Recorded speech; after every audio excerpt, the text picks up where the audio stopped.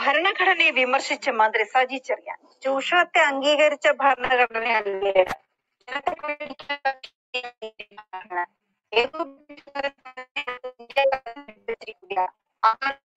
വർഷമായി പിന്തുടരുന്നത് ജനാധിപത്യം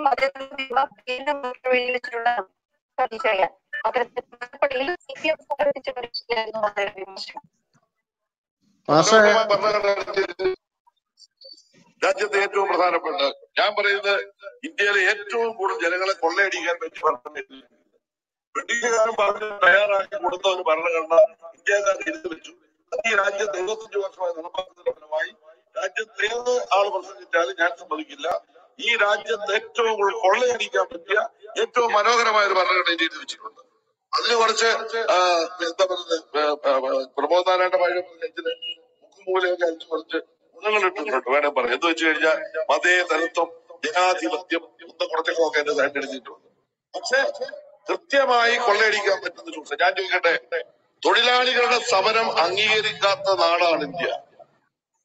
ആയിരത്തി തൊള്ളായിരത്തി അൻപത്തി ഏഴിലൂടെ ഗവൺമെന്റ് അധികാരത്തിൽ ആദ്യത്തെ ഗവൺമെന്റ് തീരുമാനിച്ച ഒരു കാര്യം തൊഴിൽ നിയമങ്ങൾ സംരക്ഷിക്കണം തൊഴിൽ നിയമങ്ങൾ നടപ്പാക്കണം. കൂലി വഹിക്കാൻ പറ്റില്ലായിരുന്നു. കൂലി ചോദിച്ചാൽ പോലീസുകാരെ നടുവിട്ട് പിടിക്കുമായിരുന്നു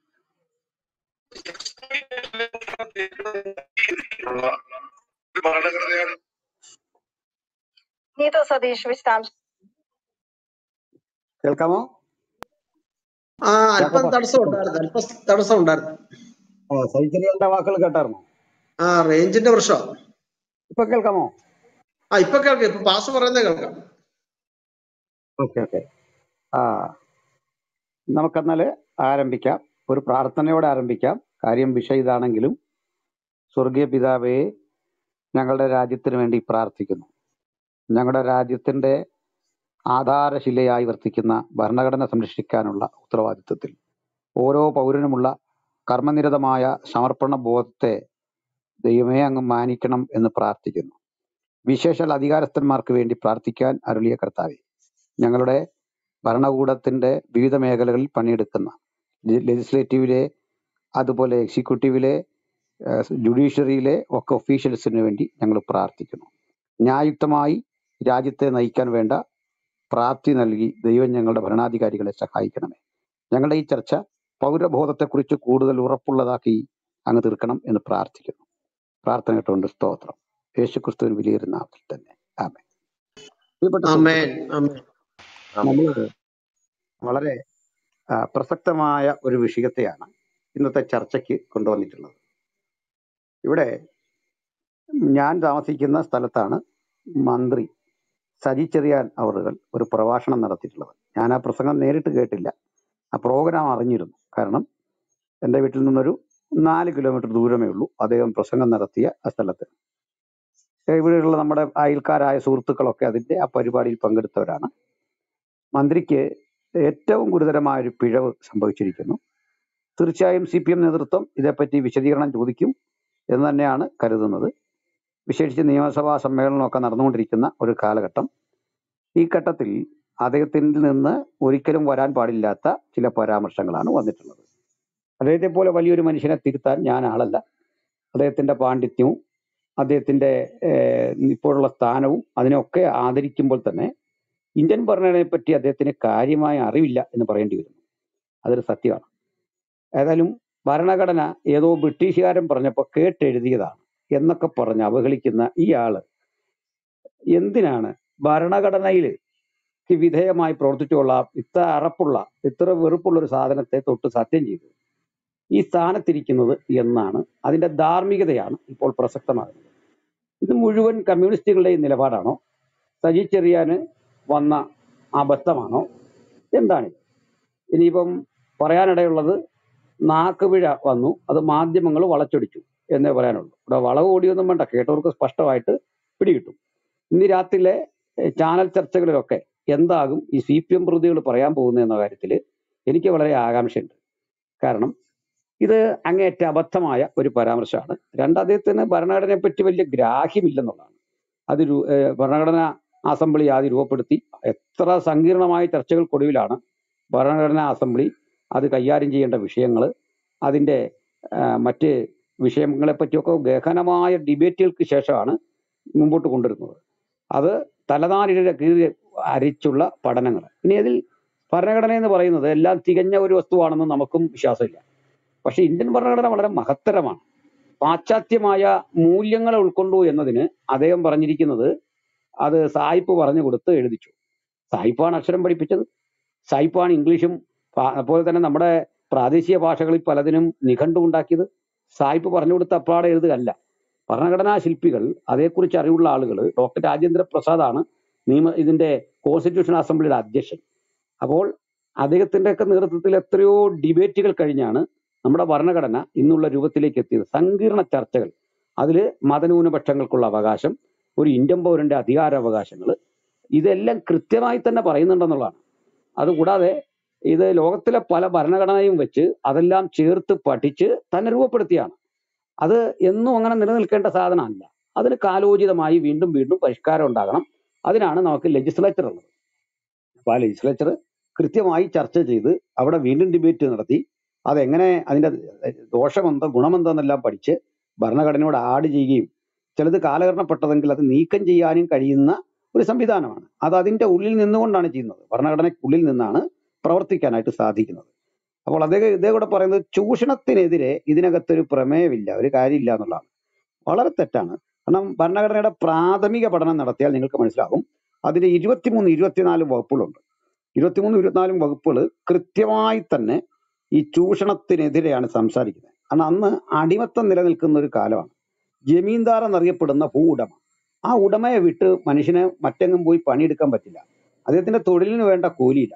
അങ്ങനെ അയാൾക്ക് ശേഷം അയാളുടെ മകനും അയാളുടെ മകനും എന്ന നിലയിൽ ഒരു പരമ്പര പോലെ പണിയെടുത്ത് അവിടെ തന്നെ മരിക്കണം. ഈ സ്ഥിതിവിശേഷത്തിന് മാറ്റം വരുന്നത് ഭരണഘടന എസ്റ്റാബ്ലിഷ് ചെയ്തുകൊണ്ടാണ്. എന്നാൽ ഇന്ത്യയുടെ പല പല സ്ഥലങ്ങളിലും ഭരണഘടനാ വിരുദ്ധമായി ഇത്തരം കാര്യങ്ങൾ നിൽക്കുന്നുണ്ട്. എന്നാൽ തൊഴിലാളിയുടെ അവകാശങ്ങളെ കൃത്യം അത് അവിടെ പറഞ്ഞു ചേർക്കുന്നുണ്ട് തന്റെ തൊഴിൽ. ഏതെങ്കിലും കാരണവശാൽ തന്റെ തൊഴിലിന്റെ മൂല്യം തനിക്ക് നിശ്ചയിക്കാനായിട്ട് അവിടെ സാധിക്കും. അതുപോലെ കുട്ടികളെ പണിയെടുപ്പിക്കരുത്. പതിനാല് വയസ്സ് താഴെയുള്ള കുഞ്ഞിനെ ഒരു കാരണവശാലും ജോലിക്കെടുക്കരുത്. ആ കുട്ടിയെ നിർബന്ധിതമായി തന്നെ വിദ്യാഭ്യാസനയക്കണം ഇങ്ങനെ അദ്ദേഹത്തിന് ഈ ജോലിയോട് ബന്ധപ്പെട്ട ബന്ധപ്പെട്ടത് അടിമപ്പണിയാകരുത്. ഇങ്ങനെ എത്ര എത്ര കാര്യങ്ങൾ. അതിനു മുമ്പ് ഈ ദേവദാസി സമ്പ്രദായം പോലും ജോലിയായിട്ട് പരിഗണിച്ചു വന്നത് അവരെ കുലത്തൊഴിലായിട്ട് സ്വീകരിച്ചു വന്നൊരു കാര്യമാണ്.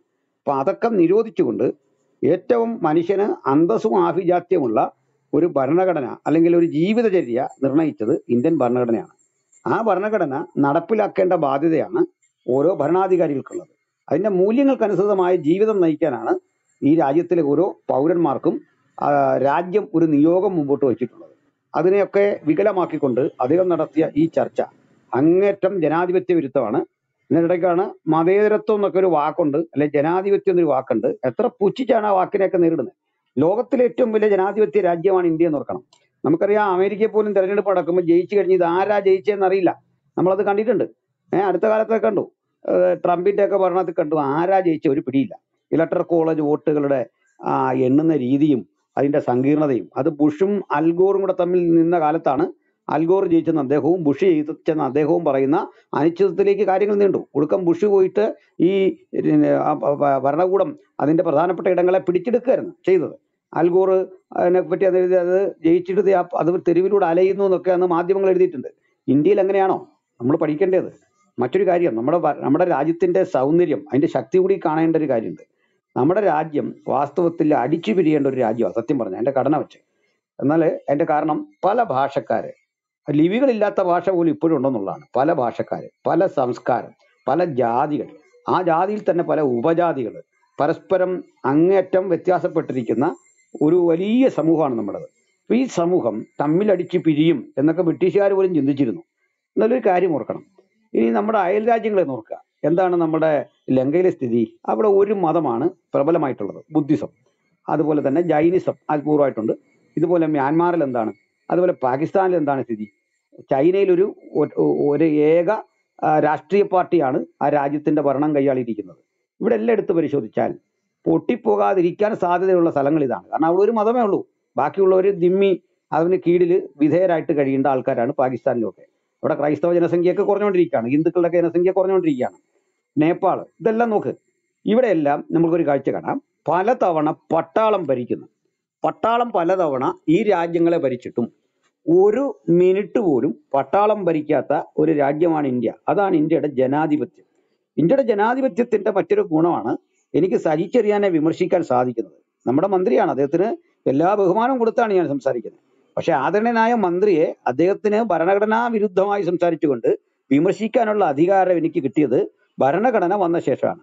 എനിക്ക് നരേന്ദ്രമോദിയെ മുഹമ്മദ് നബിയെ ബൈബിളിനെ അല്ലെങ്കിൽ ഖുറാനെ ഒക്കെ വിമർശിക്കാം. അതിനുള്ള അധികാരം തന്ന ഒരു പൗരൻ അധികാരമുണ്ട് എന്ന് വരുത്തി തീർത്തത് ഈ ഭരണഘടനയാണ്. അതുവരെ ഇന്ത്യയിൽ രാജാവും പ്രജയുമാണ്. പ്രജ എന്ന സങ്കല്പത്തിൽ നിന്ന് പൗരൻ എന്ന സങ്കല്പത്തിലേക്ക് നമ്മൾ വളർന്നത് ഭരണഘടന വന്നതിന് ശേഷമാണ്. എന്റെ ഭരണാധികാരിയെ ഞാൻ തിരഞ്ഞെടുക്കുന്ന സ്ഥിതി വന്നത് അങ്ങനെയാണ്. എനിക്ക് മോഡിയോട് വിരോധം ഉണ്ടെങ്കിൽ ആ വിരോധം പ്രതിഫലിപ്പിക്കാൻ ബാലറ്റ് അധികാരത്തിന്റെ പ്രതീകമായി കിട്ടിയത് ഈ ഭരണഘടന വന്ന ശേഷമാണ്. സജി ചെറിയാൻ ഇന്ന് ഇവിടുന്ന് ആസ്വദിക്കുന്നതെല്ലാം ഈ ഭരണഘടന കൊടുത്തിട്ടുള്ള ആനുകൂല്യമാണ്. അദ്ദേഹം വന്ന കാറ് അദ്ദേഹം ധരിച്ച മുണ്ട് അദ്ദേഹം ധരിച്ചിരിക്കുന്ന ഷർട്ട് അദ്ദേഹത്തിന്റെ അണ്ടർവെയർ അടക്കം ഈ രാജ്യം കൊടുത്തിരിക്കുന്നതാണ്. അതറിയാവോ കാര്യം? ഈ രാജ്യം കൊടുത്തിരിക്കുന്നതാണ്. അദ്ദേഹം എഴുന്നേറ്റ് സംസാരിച്ച ഈ ചെലവ് ഇതെല്ലാം എന്റെ നിങ്ങളുടെ നികുതി പണമാണ്. ചുരുക്കി അത്രയും പറഞ്ഞത് കാര്യം ഒന്ന് ബോധ്യപ്പെടാൻ വേണ്ടിയാണ്. ഇവർ ആ പോകുന്ന വഴിക്ക് ചായ കുടിക്കുന്നത് പോലീസിന്റെ ചെലവ് ഇതെല്ലാം എന്റെ നിങ്ങളുടെ നികുതി പണമാണ്. ഇവരെ നികുതി കൊടുത്ത് ഇങ്ങനെ നമ്മൾ പരിരക്ഷിക്കുന്നത്. അങ്ങനെ പരിരക്ഷിക്കണം. അതിലൊന്നുമല്ല ഞാൻ പറഞ്ഞു വരുന്നത് ഇങ്ങനെ ഇവരെ നമ്മൾ പരിരക്ഷിക്കണം. കാരണം നമ്മുടെ പ്രധാനമന്ത്രിയാണ് നമ്മുടെ മുഖ്യമന്ത്രിയാണ് ഒരു രാജ്യത്തിലെ പ്രഥമ പൗരന്മാര് മറ്റു മറ്റ് സമൂഹങ്ങളുടെ മധ്യേ കാണുമ്പോൾ ഏറ്റവും നല്ല രീതിയിൽ അവരാണ് വസിക്കേണ്ടത്. അവരാണ് ആദ്യം ഒരു സ്ഥലത്ത് ഓടിയെത്തേണ്ടത്. അതിനാണ് നമ്മൾ വാഹനം മറ്റേ ഗതാഗത ട്രാ ഇതെല്ലാം നിയന്ത്രിച്ചുകൊണ്ട് ഇവരെ വണ്ടി പെട്ടെന്ന് കടത്തി വിടുന്നത് ഇവർക്ക് അപ്രമാദിത്വം ഉള്ളതുകൊണ്ടല്ല മറിച്ച് ഇവർ നമ്മുടെ ലീഡർഷിപ്പിന്റെ ഭാഗമായത് നിലവിലുള്ള ഈ ഭരണഘടന വെച്ചാണ്. അപ്പൊ ഇവർ കഴിക്കുന്ന അന്നത്തിനെതിരെയാണ് ഈ ഗർജിച്ചത്. അവർ ഉപയോഗിച്ച സൗകര്യത്തിനും സൗജന്യത്തിനും എതിരെയാണ് പ്രജകളുടെ മുഖത്ത് നോക്കി സോറി പൗരന്മാരുടെ മുഖത്ത് നോക്കി പൂച്ചിക്കുകയാണ്. ഇത് പൗരന്റെ വിശുദ്ധ ഗ്രന്ഥമാണ് ഈ ഭരണഘടന എന്ന് പറയുന്നത്. ഇന്ത്യൻ പൗരന്റെ വിശുദ്ധ ഗ്രന്ഥം ഇന്ത്യൻ പൗരന്റെ അധികാര ചിഹ്നങ്ങളെ മുഴുവൻ കൃത്യമായി നിർവചിച്ചിട്ടുള്ള ഈ ഭരണഘടനയെ അദ്ദേഹം പുച്ഛിച്ചത് അവഹേളിച്ചത്. ഇനി ഒരു നിമിഷം കൂടി അദ്ദേഹം അവിടെ ഇരിക്കാൻ ഒരു തരത്തിലും യാതൊരു അർഹതയുമില്ല എന്നാണ് തെളിയുന്നത്. അടുത്ത അദ്ദേഹം കള്ളമാണ് ഈ പറഞ്ഞത്. കള്ളം പറഞ്ഞത് ഇന്റൻഷനലി ആണെന്ന് ഞാൻ കരുതുന്നില്ല. അദ്ദേഹം പറഞ്ഞത് ഇങ്ങനെയൊന്നും വകുപ്പില്ല ചൂഷണമാണ് ഭരണഘടന ഉപയോഗിച്ച് ചെയ്യുന്നത്. ഭരണഘടന വരുന്നതിന് മുമ്പ് ഇതിലും വലിയ ചൂഷണമായിരുന്നു. എന്തായാലും സ്ഥിതി? എന്തായിരുന്നു ഭരണഘടന വരുന്നതിന് മുമ്പുള്ള സ്ഥിതി? നാട്ടുരാജ്യങ്ങളിലെ നാട്ടുരാജാക്കന്മാര് ഇവിടെയുള്ള വസ്തുവകകൾ ഓരോന്ന് പണിയെടുക്കുന്നവന്റെ പക്കൽ നിന്ന് കൊള്ളയടിക്കായിരുന്നു. വസ്തുക്കളും ഇനി സ്ത്രീകളെ പോലും കൊള്ളയടിക്കുന്ന സ്ഥിതിയായിരുന്നു. ആർക്കും ചോദ്യം ചെയ്യാൻ അവകാശം ഉണ്ടായില്ല. ഈ ഭരണഘടനയും നിയമ സംവിധാനങ്ങളും മറ്റ് എന്തുവാ ഇന്ത്യൻ പീനൽ കോഡും കോൺസ്റ്റിറ്റ്യൂഷനും ക്രിമിനൽ പ്രൊസീജിയർ കോഡും ഒക്കെ ഉണ്ടായ ശേഷമാണ് നമ്മുടെ രാജ്യത്ത് പൗരന്റെ അവസ്ഥയ്ക്ക് നിലയും വിലയും വന്നത്. അതിനു മുമ്പ് രാജാവും ഗുണ്ടകളുമായിരുന്നു രാജ്യം ഭരിച്ചുകൊണ്ടിരുന്നത്. ഗുണ്ടാപ്പടകളായിരുന്നു ക്രമസമാധാനം നിയന്ത്രിച്ചുകൊണ്ടിരുന്നത് വൻ നികുതി കൊടുക്കേണ്ട സ്ഥിതി വിശേഷം അന്നുണ്ടായിരുന്നു ഇന്നത്തെക്കാൾ നികുതി നൂറ്റിയെട്ട് വിധ കരം പിരിച്ച ആളുകളായിരുന്നു തിരുവിതാംകൂർ രാജാക്കന്മാർ അപ്പൊ ഈ പരിസ്ഥിതി നിന്നൊക്കെ നമുക്ക് ഇന്ന് ഉള്ള നിലയിലേക്ക് വരാൻ സാധിച്ചത് ഭരണഘടനയാണ്. പലപ്പോഴും പല ചർച്ചകളിലും ഞാൻ വരുമ്പോൾ ഭരണഘടനയുടെ മൂല്യങ്ങളിൽ ഒത്തിരി ഊന്നി സംസാരിക്കാറുണ്ട്. അതിലൊരു കാര്യം നമ്മുടെ ബി ജെ പിയിലെ സുഹൃത്തുക്കൾ ചർച്ചയ്ക്ക് വരുമ്പോൾ പറയാറുണ്ട് വാജ്പേയി നല്ല മനുഷ്യനായിരുന്നു അതുപോലെ രാജഗോപാൽജി നല്ല മനുഷ്യനാണ്. നിങ്ങൾ ബി ജെ പിയോട് സഹകരിച്ചു നോക്കിയ നല്ല നല്ല ആളുകളാണ്.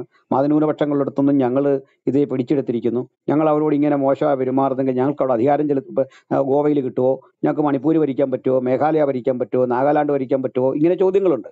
അപ്പോൾ ഇവർ ആ, ക്രിസ്ത്യാനിക്ക് ചെയ്ത ഗുണങ്ങൾ മുസ്ലിങ്ങൾക്ക് ചെയ്ത ഗുണങ്ങളൊക്കെ എടുത്തു പറയാറുണ്ട്. അപ്പോഴൊക്കെ ഞാൻ പറയും എനിക്ക് നിങ്ങളുടെ ഉദാരത വേണ്ട. അതെപ്പോഴും ഓർത്തിരിക്കണം. എനിക്ക് മോഡിയുടെ ഉദാരത വേണ്ട. മോഡിയുടെ സൗജന്യം വേണ്ട. പിണറായി വിജയന്റെ സൗജന്യം വേണ്ട. എനിക്ക് പൗരന്റെ റൈറ്റാണ് ഞാൻ ചോദിച്ചുകൊണ്ടിരിക്കുന്നത്. പൗരന്റെ അവകാശം. ആ ഉദാരത എന്നത് ഒരു നയമല്ല. അതൊരു സ്വഭാവമാണ്. പക്ഷേ എന്റെ അവകാശം എന്നത് എന്റെ മാത്രം കാര്യമാണ്. അത് പൗരൻ എന്ന നിലയിൽ എന്റെ മാത്രം അധികാരമാണ്. ആ അധികാരത്തിലാണ് ഞാൻ ആശ്രയിക്കുന്നത്. ചുരുക്കി പറഞ്ഞാൽ ഇതൊക്കെ നമുക്ക് തന്ന ആരാണ്? ഈ ഭരണഘടനയാണ്. ഇനി ഇതിലൊരു കാര്യമുള്ളത് ഈ തൊഴിൽ നിയമങ്ങൾ പലതും ഈ അമേരിക്കൻ രീതിയെ അവലംബമാക്കിക്കൊണ്ട് അമേരിക്കൻ ഭരണഘടനയുടെ പതിമൂന്നാം ഭേദഗതിയോട് സമരസപ്പെടുത്തിക്കൊണ്ടാണ് നമ്മുടെ നാട്ടിൽ തൊഴിൽ നിയമങ്ങൾ ഉണ്ടായത് നിങ്ങൾക്കൊരു കാര്യമുണ്ടേ ഈ സൈച്ചറിയാന്റെ പാർട്ടിയും രാഷ്ട്രീയക്കാരോട് എന്താ ചെയ്യുന്നത്? നോക്കുകൂലി മേടിക്കുന്നുണ്ട്. അതെന്ത് അധികാരം വെച്ചുകൊണ്ടാണ്? ആ നോക്കുകൂലിക്കെതിരെ ഇവിടെ നിയമമുണ്ട്. മനസ്സിലായോ? നിങ്ങളിപ്പം ഞാൻ ഇവിടുന്ന് വീട് മാറി മറ്റൊരു സ്ഥലത്തേക്ക് ഇല്ല ഞാനും എന്റെ കൂട്ടുകാരും ഒരുമിച്ച് ഈ കട്ടിലും മേശയൊക്കെ ഇറക്കാൻ ചെന്നാൽ അവർ കണ്ടുകൊണ്ട് നിന്നിട്ട് അവസാനം വന്നിട്ട് പറയും കാശ് അല്ലെങ്കിൽ ലോറി വിടുകല ഈ സ്ഥിതി ഇന്നും ഈ രാജ്യത്ത് നിലനിൽക്കുന്നുണ്ട്. അപ്പൊ അതുപോലെ തൊഴിൽ പണി മുടക്കാൻ ഉള്ള അവകാശം ഭരണഘടന എഴുതിയിട്ടില്ലെന്ന് എന്താ നിങ്ങൾ ഈ പറയുന്നത് ഒരു സാധാരണ വിവരം വേണ്ടേ? ഒരു രാഷ്ട്രത്തെ മുമ്പോട്ട് കൊണ്ടുവന്ന സർക്കാർ ബിസിനസ് നടത്തി കൊടുക്കേണ്ട ഇടമാണ് ഗവൺമെന്റ് സർക്കാരിന്റെ ഇതര സംവിധാനങ്ങൾ. ഇപ്പം സ്പീക്കർ അവിടെ ഇരിക്കുകയാണ്. സ്പീക്കർ അവിടെ ഇരുന്നുകൊണ്ട് കൃത്യമായി നിഷ്പക്ഷത പാലിക്കാൻ പറ്റുന്ന ആളല്ല. കാരണം സർക്കാർ ബിസിനസ് നടത്തി കൊടുക്കണം. സർക്കാരിന്റെ ബിസിനസ് നടക്കുന്നില്ലെങ്കിൽ നമ്മുടെ രാജ്യം നിശ്ചലമാകും. അതുകൊണ്ട് സ്പീക്കർ ആ സമയത്ത് സർക്കാരിന്റെ പക്ഷം ചേർന്നേ പറ്റുള്ളൂ. അത് കേന്ദ്രത്തിലാണെങ്കിലും കേരളത്തിലാണെങ്കിലും. എന്നാൽ ചില കാര്യങ്ങളിൽ അംഗങ്ങളുടെ അവകാശങ്ങളൊക്കെ സ്പീക്കർ സമ്മതിച്ചു കൊടുക്കണം. പക്ഷേ സർക്കാർ ബിസിനസ് തടയാൻ പാടില്ല. അത് നടന്നേ പറ്റുള്ളൂ. അപ്പൊ എന്നതുപോലെ ഈ ഭരണഘടന എന്താ എഴുതി വെക്കേണ്ട തൊഴിലാളിക്ക് കൂലി കിട്ടുന്നില്ലെങ്കിൽ ആ ഫാക്ടറി സ്തംഭിപ്പിക്കാം എന്ന് എഴുതി വെക്കണമായിരുന്നോ. അപ്പൊ അതുകൊണ്ട് ഒരു കാര്യം എടുത്തോണം. നിയമലംഘനങ്ങളാണ് സമരങ്ങൾ. അനിവാര്യമായ നിയമലംഘനം നടത്തണം. അത് നിയമലംഘന അവകാശമല്ല. മറിച്ച് നിയമം ലംഘിക്കപ്പെടുന്ന ഇടത്ത് ആ നിയമത്തെ അതിനകത്തെ തെറ്റായ വശങ്ങൾ പരിശോധിക്കാൻ സമൂഹത്തിന് ഒരു അവസരം കിട്ടും. സമൂഹത്തെ കൊണ്ട് ആ ചിന്തിപ്പിക്കാനാണ് സമരം ചെയ്യുന്നത്. ഇപ്പം മോഡിക്കെതിരെ നമ്മൾ വാട്ടർ അതോറിറ്റിയുടെ ഫ്രണ്ടിൽ പോയി സമരം ചെയ്യുന്നത് എന്തിനാ? അപ്പൊ അന്നത്തെ ആ സ്ഥാപനം അതിന്റെ പ്രവർത്തനങ്ങൾ നിശ്ചലമാകുന്നു. അവർ രേഖപ്പെടുത്തും പോലീസ് വരും റിപ്പോർട്ട് തയ്യാറാക്കും. അങ്ങനെ ആയിരം പതിനായിരം വാട്ടർ അതോറിറ്റിയുടെ ഓഫീസിൽ നിന്ന് കൃത്യമായ ഈ സന്ദേശം പോലീസുകാർ അവിടേക്ക് അയക്കുമ്പോൾ ഇതെന്താ ഈ രാജ്യത്ത് നടക്കുന്നത്? അപ്പൊ സർക്കാർ പരിശോധിക്കും. ആ നിയമം കരി നിയമമാണെങ്കിൽ ഭേദഗതി ചെയ്യും. ഇതിനൊക്കെ ഉള്ളതാണ് സമരം. സമരവും പണിയല്ല മറിച്ച് അനിവാര്യതയുടെ ഘട്ടമായിട്ട് ചെയ്യുന്നതാണ്. നിയമം ചെയ്യാനുള്ള തൊഴിലാളിയുടെ അവകാശം ഭരണഘടനയ്ക്കകത്ത് എഴുതി വെച്ചിട്ടില്ല. ഞാൻ ഇത്രയും സീരിയസ് ആയിട്ട് പറഞ്ഞ വഴിക്ക് നിങ്ങൾ ഉറങ്ങാതിരിക്കാൻ ഒരു തമാശ കൂടി പറഞ്ഞു നിർത്താം. ഒരിക്കൽ ഒരു മനുഷ്യന്റെ പുരയിടത്തിൽ കയറി ഒരാൾ ആടിനെ തീറ്റാണ് അപ്പോൾ ആടിനെ തീറ്റിക്കൊണ്ടിരിക്കുകയാണ്. ഇത് സ്ഥിരമായപ്പോൾ വീട്ടുകാരനങ്ങ് ശല്യമായിട്ട് അദ്ദേഹം പറഞ്ഞു നിങ്ങൾ ഇത്രയും നാൾ ചെയ്തതൊക്കെ കൊള്ളാം. ഇനി മേലാൽ ഇവിടെ വരികയോ ഈ ആടിനെ ഇവിടെ കെട്ടി കെട്ടോ ചെയ്യല്ല എന്റെ കൃഷിയെല്ലാം നശിപ്പിക്കുകയാണ്. ഈ പുള്ളി അടുത്ത ദിവസവും ഇത് കെട്ടി. ആകെ പ്രശ്നമായി.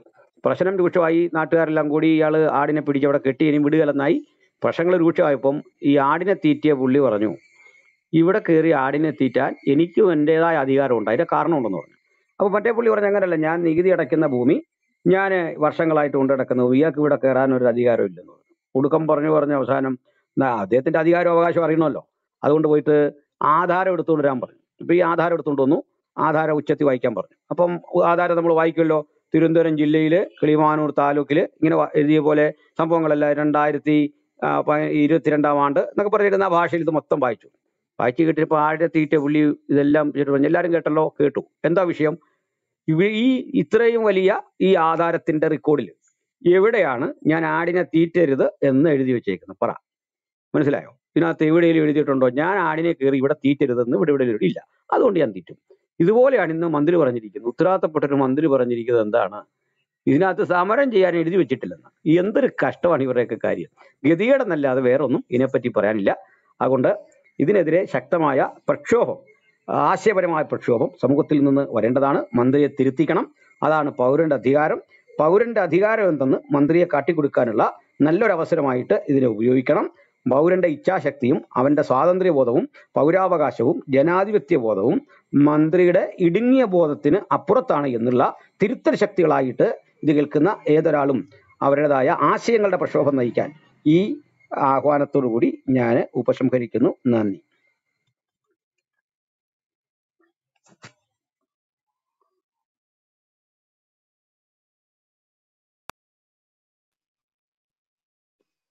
ഓക്കെ ഞാൻ പറയുന്നത് കേൾക്കാമോ കേൾക്കാം. ഓക്കെ ഓക്കെ ഓക്കെ ഓക്കെ ആ പ്രിയമുള്ളവരെ ഈ വിഷയത്തിൽ തന്നെ നമ്മൾ ചർച്ച തുടരണം. തീർച്ചയായിട്ടും നമ്മളെല്ലാവരെയും ബാധിക്കുന്നതായ ഒരു വിഷയമാണിത്. നമുക്കറിയാം ഈ ഭരണഘടനയോട് അല്ലെങ്കിൽ രാജ്യത്തിന്റെ നിയമത്തോട് കളിതമാശ പറഞ്ഞ പല മന്ത്രിമാർക്കും മന്ത്രിസ്ഥാനം തെറിച്ച ചരിത്രം കേരളത്തിലുണ്ട്. അത് സജീവ് ചെറിയാന്റെ മേൽ തൂങ്ങിക്കിടക്കാണെന്ന് എനിക്ക് തോന്നുന്നു. ആയിരത്തി തൊള്ളായിരത്തി എൺപത്തി അഞ്ചിലാണ് അന്ന് കരുണാകരൻ മന്ത്രിസഭയിലെ വൈദ്യുതി മന്ത്രിയായിരുന്ന ആർ ബാലകൃഷ്ണപിള്ള. അദ്ദേഹത്തിന്റെ മന്ത്രിസ്ഥാനം തെറിച്ചു അന്ന് യുവത്വമായിരുന്ന അദ്ദേഹം നല്ല മനോഹരമായ രീതിയിൽ പ്രസംഗിക്കുന്ന ആളും കേരള കോൺഗ്രസിന്റെ അനിശ്ചയത്തിനായ നേതാവുമായിരുന്നു. എന്തായിരുന്നു പ്രശ്നം? എറണാകുളത്ത് രാജേന്ദ്ര മൈതാനിൽ ആ പ്രസംഗം നടക്കുന്നത്. അത് പിൽക്കാലത്ത് Kerala model Kerala model Punjab model എന്നുള്ളതായ പ്രസംഗമായിട്ട് അങ്ങ് രൂപാന്തരപ്പെട്ടു. അവിടെ നടത്തിയ കേരള കോൺഗ്രസ് സമരപ്രഖ്യാപന സമ്മേളനത്തിൽ ആർ ബാലകൃഷ്ണപിള്ള പ്രസംഗിച്ചത് വളരെ ഗുരുതരമായ സ്ഥിതി പിന്നീട് ഉണ്ടാക്കി. കേരളത്തിന് അത് അനുവദിച്ച കോച്ച് ഫാക്ടറി പഞ്ചാബിലേക്ക് പോയി. അതായത് പാലക്കാടിന് കിട്ടേണ്ടതായ കോച്ച് ഫാക്ടറി പഞ്ചാബിലേക്ക് പോയി. കേരളത്തിന് അർഹതമായത് കിട്ടണമെങ്കിൽ പഞ്ചാബിൽ സംഭവിക്കുന്നതെല്ലാം കേരളത്തിൽ നടക്കണം. അതിന് ചോരേ നീരുള്ള യുവാക്കൾ രംഗത്തിറങ്ങണം. ഇത്രയും അദ്ദേഹം പ്രസംഗിച്ചുള്ളൂ. ഇത്രയും കാര്യം പ്രസംഗിച്ചുള്ളൂ. ശ്രദ്ധിക്കണം അന്നേരം പഞ്ചാബിൽ എന്താ നടക്കുന്നത് ഖാലിസ്ഥാൻ വിഘടനവാദികളുടെ തീവ്രമായ പ്രവർത്തനങ്ങൾ നടക്കുകയാണ്. ഇന്ത്യ രാജ്യത്തിന് സ്വസ്ഥതയില്ലാത്തതായ ഇവരുടെ പ്രവർത്തനങ്ങൾ പഞ്ചാബിൽ നടക്കുന്ന സമയത്താണ് പറയുന്നത് ചോരയും വീരുമുള്ള യുവാക്കൾ രംഗത്തിറങ്ങി പഞ്ചാബ് ബോർഡിൽ ഇവിടെ കളിക്കണമെന്ന് പറഞ്ഞത്. അദ്ദേഹത്തിന് നിലനിൽക്കാനായിട്ട് കഴിഞ്ഞില്ല. അന്ന് യൂത്ത് കോൺഗ്രസിന്റെ നേതാവാണ് ജി കാർത്തികൻ. അദ്ദേഹം ജനത്തെ സംഘടിപ്പിച്ചുകൊണ്ട് വെളിയിലിറങ്ങി ചുരുക്കി ചുരുക്കി പറഞ്ഞ പൊതു താല്പര്യ ഹർജി കോടതിയിലെത്തി. അദ്ദേഹത്തിന് മന്ത്രിസ്ഥാനത്ത് നിന്ന് തെറിക്കേണ്ടതായിട്ട് വന്നു അതിനു മുമ്പ് ഇ എം എസ് നമ്പൂതിരിപ്പാട് അദ്ദേഹം കോടതിക്കെതിരെ ഒരു പരാമർശം നടത്തി ഒരു പിഴ കൊടുക്കേണ്ടതായിട്ട് വന്നു. അതങ്ങനെയുള്ള ചരിത്രങ്ങളൊക്കെ ഇവിടെയുണ്ട്. അപ്പം ഇതൊക്കെ നമ്മൾ തുലനം ചെയ്ത് നോക്കുവാണെങ്കിൽ സജി ചെറിയാന്റെ നില പരുങ്ങലിലാകാനാണ് സാധ്യത. ആ, ഇതുവരെയുള്ളതായ നില. കാരണം അദ്ദേഹം പറഞ്ഞതായ ഒരു മൂന്ന് സ്റ്റേ മൂന്ന് കാര്യങ്ങൾ മൂന്ന് വാക്കുകൾ അദ്ദേഹം പറയുന്നത് മൂന്ന് ഗുരുതരമായ കാര്യങ്ങളാണ്. കുടുത്തോട്ടം ബാസ് അത് ഉദ്ധരിച്ചു. അദ്ദേഹം ആദ്യം പറഞ്ഞത് എന്താണ്? ജനങ്ങളെ കൊള്ളയടിക്കാൻ പറ്റിയതാണ് ഇന്ത്യൻ ഭരണഘടന. ജനങ്ങളെ കൊള്ളയടിക്കാൻ പറ്റിയതാണ് ഇന്ത്യൻ ഭരണഘടന. അതിനെ വേണമെങ്കിൽ അദ്ദേഹത്തിന് അദ്ദേഹം ഇദ്ദേഹത്തിന് ഇപ്പൊ വ്യാഖ്യാനിച്ച്. അദ്ദേഹത്തിന് വേറെ രീതി വേറെ തലത്തിലേക്ക് വ്യാഖ്യാനി വ്യാഖ്യാനിച്ചതായിട്ട് ചാനലുകാർ പുറത്തുവിട്ടിട്ടുണ്ട് പറയുക അദ്ദേഹം പറഞ്ഞത് എങ്ങനെയാണ് ഞാൻ പറഞ്ഞത് ഭരണകൂട ഭീകരതക്കെതിരെയാണ് ഞാൻ പറഞ്ഞത്. ഭരണഘടനക്കെതിരെയല്ല ഭരണഘടനക്കെതിരെയല്ല ഭരണകൂട ഭീകരതയ്ക്കെതിരെയാണെന്നുള്ള വ്യാഖ്യാനവുമായി അദ്ദേഹം ജില്ലാ സെക്രട്ടറി ഒക്കെ പുറത്തു വന്നിട്ടുണ്ട്. പക്ഷെ താഴെ വേറെ രണ്ട് പദപ്രയോഗം അദ്ദേഹം ഉപയോഗിച്ചിട്ടുണ്ട്. അത് രണ്ടും ഗുരുതരമായ പ്രയോഗം. എന്റെ കണക്കുള്ള അതാ ഗുരുതരം. അദ്ദേഹം എന്താ പറയുന്നറിയോ? മതേതരത്വവും ജനാധിപത്യവും എന്ന കുന്തം കുടച്ചക്രം എന്ന് മനസ്സിലായോ? അത് ഇച്ചിരി പ്രയാസം വരുന്ന ഒരു കാര്യമാണ്. മതേതരത്വവും ജനാധിപത്യം അദ്ദേഹത്തിന്റെ ഈ ഭരണഘടനയ്ക്കെതിരെയുള്ളതായ പ്രഭാഷണത്തിന്റെ തൊട്ട് താഴെ അദ്ദേഹം പറഞ്ഞതാണ് മതേതരത്വവും ജനാധിപത്യവും എന്ന കുന്തം കുടച്ചക്രം. അതല്പം അദ്ദേഹം തീവ്രമായിട്ടാണ് പറയുന്നത്. ആ വാക്കുകൾ അദ്ദേഹം ഉച്ചരിക്കുമ്പോൾ ആരോടൊക്കെയോ പകയും രോക്ഷവും ഉണ്ടെന്നുള്ള കാര്യം ആ വാക്കുകളിൽ അടങ്ങിയിട്ടുണ്ട്. ഇത് നിസ്സാര കാര്യമല്ല. അദ്ദേഹമൊക്കെ വളരെ കഴിവുള്ള ആളാണ്. പാസ്റ്റർ പറഞ്ഞ പോലെ നമുക്ക് എന്നെ സംബന്ധിച്ച് വിമർശിക്കാൻ ഞാൻ ആളല്ല. അദ്ദേഹത്തെയും എന്നെയും കൂടെ നീക്കം ചെയ്യാനൊക്കെ അദ്ദേഹം ആരാണ്? പക്ഷേ അദ്ദേഹം ഈ അദ്ദേഹത്തിന്റെ ഈ വാക്കുകൾ ഏതൊരു ഇന്ത്യൻ പൗരനും ചോദ്യം ചെയ്യാം. ഇത് ഗുരുതരമായ സ്ഥിതിവിശേഷം ഉണ്ടാക്കുന്നതായ കാര്യങ്ങൾ. അപ്പം ഭരണഘടനയുടെ ഭരണഘടനയിലെ ജനാധിപത്യത്തെയും മതേതരത്വത്തെയും അദ്ദേഹം പുച്ഛിച്ച് പുറന്തള്ളുക. നമുക്കറിയാം ഈ ഭരണഘടനയെ നമുക്ക് വിമർശിക്കാം ഭരണഘടനയെ വിമർശിക്കാം. ഇന്ത്യൻ പൗരൻ എന്ന നിലയിലെ ഭരണഘടനയിൽ നമ്മുടെ രാജ്യത്തിന്റെ ഭരണഘടനയിൽപ്പെട്ട ചില നിയമങ്ങളൊക്കെ സമൂഹത്തിന് പ്രതികൂലമായി ബാധിക്കുന്നതായിട്ട് തോന്നിയിട്ടുണ്ട്. അപ്പോഴത്തേന് ഈ രാഷ്ട്രീയ സാമൂഹ്യ സംസ്കാര രംഗത്ത് പ്രവർത്തിക്കുന്ന ആളുകൾ അതിനെതിരായിട്ട് പ്രസംഗിക്കുകയും പ്രചരിപ്പിക്കുകയും എഴുതുകയൊക്കെ ചെയ്തിട്ടുണ്ട്. ഉദാഹരണത്തിന് ഈ ഐ പി സി ഇരുന്നൂറ്റി തൊണ്ണൂറ്റഞ്ച് അത് മതനിന്ന കുറ്റം ചുമത്തുന്ന ഒരു നിയമമാണ്. അത് വാസ്തവത്തിൽ പലർക്കും അത് വലിയ ദോഷം ചെയ്യാറുണ്ട്. പലരും അതിനെ അതിനെതിരായിട്ട് എഴുതിയിട്ടുണ്ട് പ്രസംഗിച്ചിട്ടുണ്ട്. അതൊക്കെ സാധാരണ പൗരന്മാരെന്നുള്ള നിലയിൽ ചെയ്യുന്നതിന് പ്രശ്നമൊന്നുമില്ല. പക്ഷേ ഒരു മന്ത്രി എന്ന നിലയിൽ ഇന്ത്യൻ ഭരണഘടന ഉയർത്തിപ്പിടിച്ചുകൊണ്ട് ഭരണഘടനയ്ക്ക് വിധേയപ്പെട്ടുകൊണ്ട് ഞാൻ എന്റെ കർത്തവ്യം നിർവഹിക്കുമെന്ന് ഗവർണറുടെ സാന്നിധ്യത്തിൽ നിന്നുകൊണ്ട് സത്യപ്രതിജ്ഞ ചെയ്തതായ മന്ത്രി ആ ഭരണഘടനയെ പുച്ഛിക്കുന്നത് ഭരണഘടനയ്ക്ക് വിരുദ്ധമാണ് സത്യപ്രതിജ്ഞ ലംഘനമാണ് രാജിവെക്കുക എന്നുള്ളതാണ് ആ തൊട്ടടുത്തതായ ആ അടുത്ത് ചെയ്യേണ്ടതായ പരിപാടി. അത് അതിന്റെ വഴിക്ക് പോട്ടെ. എന്നാലും നമ്മൾ താമസിക്കുന്ന ഈ രാജ്യത്തിന്റെ ഭരണഘടനയാണ് എന്നെയും നിങ്ങളെയും സ്വതന്ത്രമാക്കി നിർത്തിയിരിക്കുന്നത്. ഞാൻ ഒരു കാര്യം ഓർക്കുന്നു. അദ്ദേഹം പ്രസംഗിച്ചത് എവിടെ മല്ലപ്പള്ളിയാണ് ഈ മല്ലപ്പള്ളി എന്നൊക്കെ പറഞ്ഞ സ്ഥലം എന്ന് പറയുന്നത് അദ്ദേഹം നിന്ന് നിന്ന് പ്രസംഗിച്ച മണ്ണിന്റെ പൂർവികർ ആ അവരൊക്കെ അനുഭവിച്ചതായ അടിമത്തവും ദുരന്തം ഒന്നും വിസ്മരിക്കാനായിട്ട് കഴിയത്തില്ല. അതായത് വർഷം തോറും ആയിരക്കണക്കിന് അടിമകളെ കന്നുകാലികളെ പോലെ കച്ചവടം ചെയ്ത് രാജ്യത്തിന് വെളിയിൽ കൊണ്ടുപോയിരുന്ന ഒരു കാലഘട്ടം നൂറ് വർഷങ്ങൾക്ക് ഇവിടെ ഉണ്ടായിരുന്നു. ഈ മല്ലപ്പള്ളി തുടങ്ങിയ സ്ഥലങ്ങളിൽ അടിമയുടെ വില എട്ട് രൂപയായിരുന്നു. ഈ മല്ലപ്പള്ളി ചരിത്രത്തിൽ രേഖപ്പെടുത്തപ്പെട്ട ഒരു സ്ഥലമാണ്. അടിമ വ്യാപാരത്തിന്റെ ഒരു കേന്ദ്രമായിരുന്നു മല്ലപ്പള്ളി. പല സ്ഥലങ്ങളുണ്ട്. ആറ്റിങ്ങൽ അതുപോലെ തന്നെ പല സ്ഥലങ്ങളുണ്ട്. അതിൽ ചരിത്രകാരന്മാർ രേഖപ്പെടുത്തിയിരിക്കുന്നതായ ഒരു സ്ഥലമാണ് ഈ മല്ലപ്പള്ളി. എന്റെ കയ്യിരിക്കുന്ന ചരിത്ര കൃതികളിൽ പല ചരിത്രകാരന്മാരും ഈ മല്ലപ്പള്ളിയെ കുറിച്ച് പരാമർശിച്ചിട്ടുണ്ട്. അവിടെ അടിമകളെ കന്നുകാലികളെ ഇന്ന് തമിഴ്നാട്ടിൽ നിന്നും മറ്റുമൊക്കെ കൊണ്ടുവന്ന് മാർക്കറ്റിൽ നിർത്തി ചന്തയിൽ നിർത്തി വില പറഞ്ഞ് വിൽക്കുന്നത് പോലെയുള്ളതായ അടിമ ചന്തകൾ ഉണ്ടായിരുന്നു.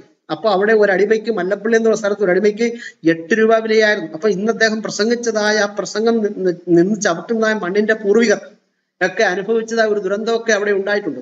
എന്നാൽ അവർക്കൊക്കെ സ്വാതന്ത്ര്യവും ശാന്തിയും പിന്നെ, സ്വച്ഛന്തമായ വായു ശ്വസിക്കുവാനുള്ളതായ അവകാശമൊക്കെ കൊടുത്തത് ഇന്ത്യൻ ഭരണഘടനയാണെന്നുള്ള കാര്യം അദ്ദേഹം വിസ്മരിക്കപ്പെട്ടു പോയി. എന്തായാലും എന്തുകൊണ്ടാണ് അദ്ദേഹത്തെ ഇത് പറയിപ്പിച്ചത്? നമുക്കറിയാം നമ്മുടെ രാജ്യത്തിന്റെ ഭരണഘടനയെ പുച്ഛിക്കുന്ന ഒരു രാഷ്ട്രീയ പാർട്ടിക്കാരും ഇന്ത്യയിലില്ല. എത്രയോ രാഷ്ട്രീയ പാർട്ടി കേരളത്തിൽ തന്നെ എത്രയോ രാഷ്ട്രീയ പാർട്ടിക്കാരുണ്ട്. ഇന്ത്യൻ ഭരണഘടനയെ പുച്ഛിക്കുന്നവരല്ല. പക്ഷേ ഒരു സമൂഹം ഇന്ത്യൻ ഭരണഘടനക്കെതിരാണ്. അവരുടെ പ്രവർത്തനങ്ങളും അവരുടെ വാക്കുകളും അവരുടെ പ്രഭാഷണങ്ങളും ഒക്കെ തന്നെ നമ്മുടെ രാജ്യത്തിന്റെ ഭരണഘടനയ്ക്ക് വിരുദ്ധമാണ്.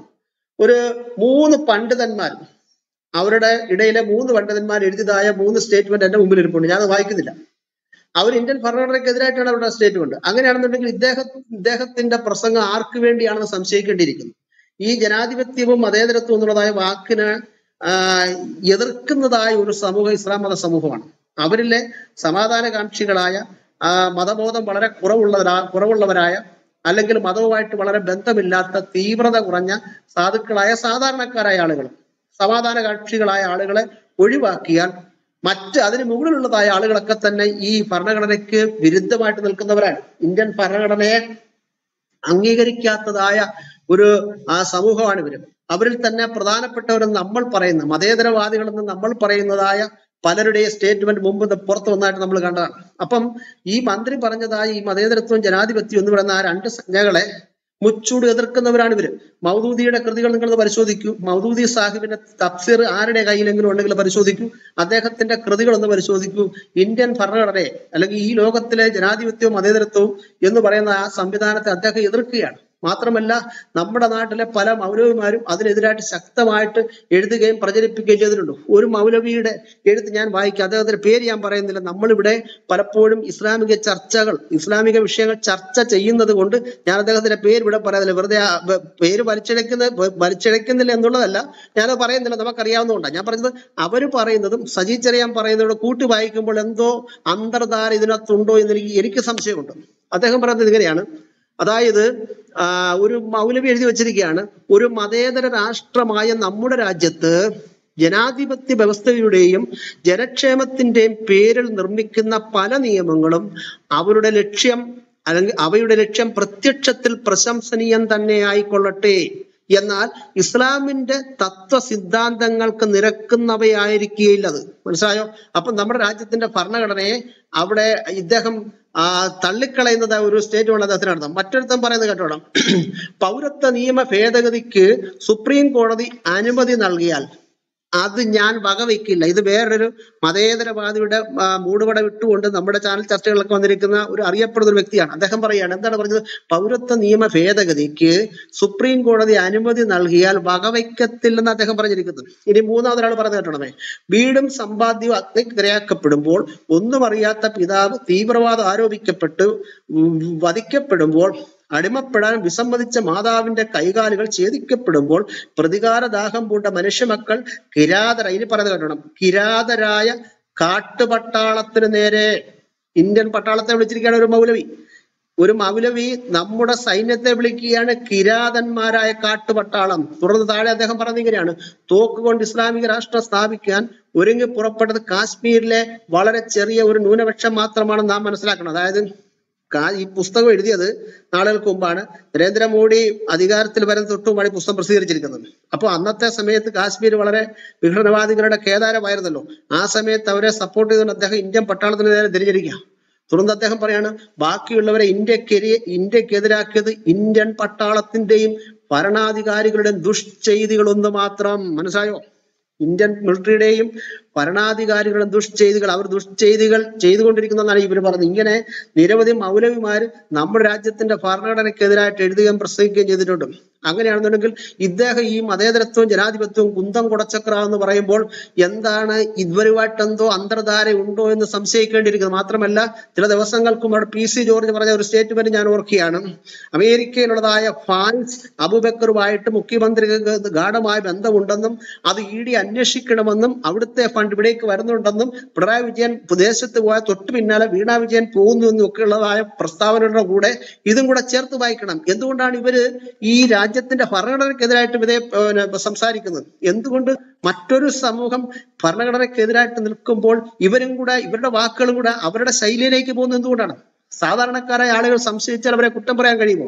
ഒരിക്കലും കഴിയത്തില്ല. അതുകൊണ്ട് പ്രിയമുള്ള സുഹൃത്തുക്കളെ ഇത്തരത്തിലുള്ളതായ വിഷയങ്ങൾ തീർച്ചയായിട്ടും ചർച്ച ചെയ്യപ്പെടണം. അത് ചർച്ച ചെയ്തേ മതിയാകൂ എന്നുള്ള കാര്യം ഈ ജനത്തെ അല്ലെങ്കിൽ ഈ നേതാക്കന്മാരെ നമ്മൾ ബോധ്യപ്പെടണം. സോഷ്യൽ മീഡിയയുടെ ആവിർഭാവത്തോടുകൂടെ നമുക്ക് സ്വതന്ത്രമായിട്ടൊന്ന് ചർച്ച ചെയ്യാനുള്ള ആ വേദി ഒരുക്കപ്പെട്ടിരിക്കുകയാണ്.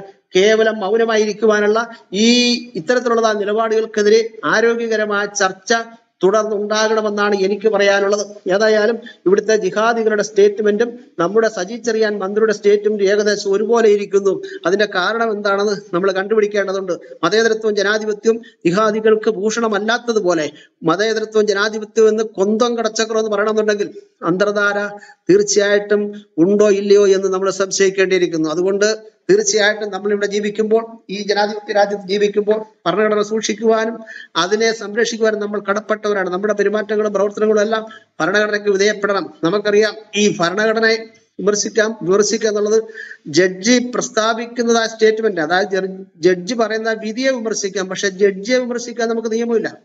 മനസ്സിലാകുന്നുണ്ടോ? ഒരു ഒരു വിധി ഇവിടെ പ്രസ്താവി വിധി പ്രഖ്യാപിക്കേണ്ടത് ആ വിധിയെ വിമർശിക്കാം അത് ദൗർഭാഗ്യകരമായി പോയി. അല്ലെങ്കിൽ അത് അങ്ങനെ ആയില്ല അത് വളരെ വിഷമം. അത് നമുക്ക് വിധിയെ വിമർശിക്കാം. പക്ഷേ ജഡ്ജിയെ കോടതി വിമർശിക്കാനായിട്ട് നമ്മുടെ രാജ്യം അനുവാദം നമുക്ക് നൽകുന്നില്ല. എന്നാൽ അതിനെല്ലാം ഉല്ലംഘിച്ചുകൊണ്ട് ഇത്തരക്കാരോട് എഴുതുകയും പ്രസംഗിക്കുകയും ചെയ്യുമ്പോൾ നമ്മുടെ രാജ്യത്തിന്റെ പോക്ക് എങ്ങോട്ടാണെന്നുള്ള കാര്യം നമ്മൾ ചിന്തിക്കേണ്ടിയിരിക്കുന്നു അതുകൊണ്ട് ഇത്തരത്തിലുള്ള ചർച്ച നടക്കട്ടെ. തുടർന്നും ആരോഗ്യകരമായ ചർച്ച നടക്കട്ടെ. ഈ വിഷയത്തെ കേന്ദ്രീകരിച്ചുകൊണ്ട് ഇതിൽ നിന്നുകൊണ്ട് തന്നെ ചർച്ച മുന്നോട്ട് പോകട്ടെ. അതിനായിട്ട് ഞങ്ങൾ ഇതിന്റെ താഴെ ഇരിക്കുന്ന സുഹൃത്തുക്കളെ ക്ഷണിച്ചുകൊണ്ട് ഞാൻ എന്റെ വാക്കുകളോട് നിർത്തുന്നു.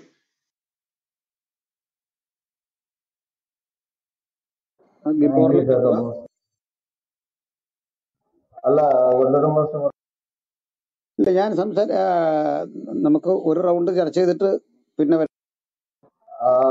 ഞാൻ അടുത്ത ആളെ സംസാരിച്ചിട്ട് പിന്നെ സംസാരിക്കാം. ആ അബ്ബാസ് സിസ്റ്ററെ പറഞ്ഞു. അബ്ബാസ് സിസ്റ്റർ ഇല്ലയോ? ആ, ഞാനുണ്ട്. ഞാൻ അല്പം കഴിഞ്ഞിട്ട് സംസാരിക്കാം. Okay Azeez okay. അസീസ് ബ്രദറെ സംസാരിക്കും. താങ്ക് യു എന്നെ കേൾക്കാമോ?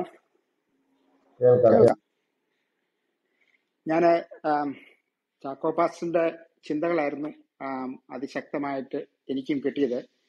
ഇംഗ്ലീഷിലൊരു ഒരു അഡേജ് ഉണ്ട് birds of the same flock will fly together എന്ന് പറയുന്ന ആ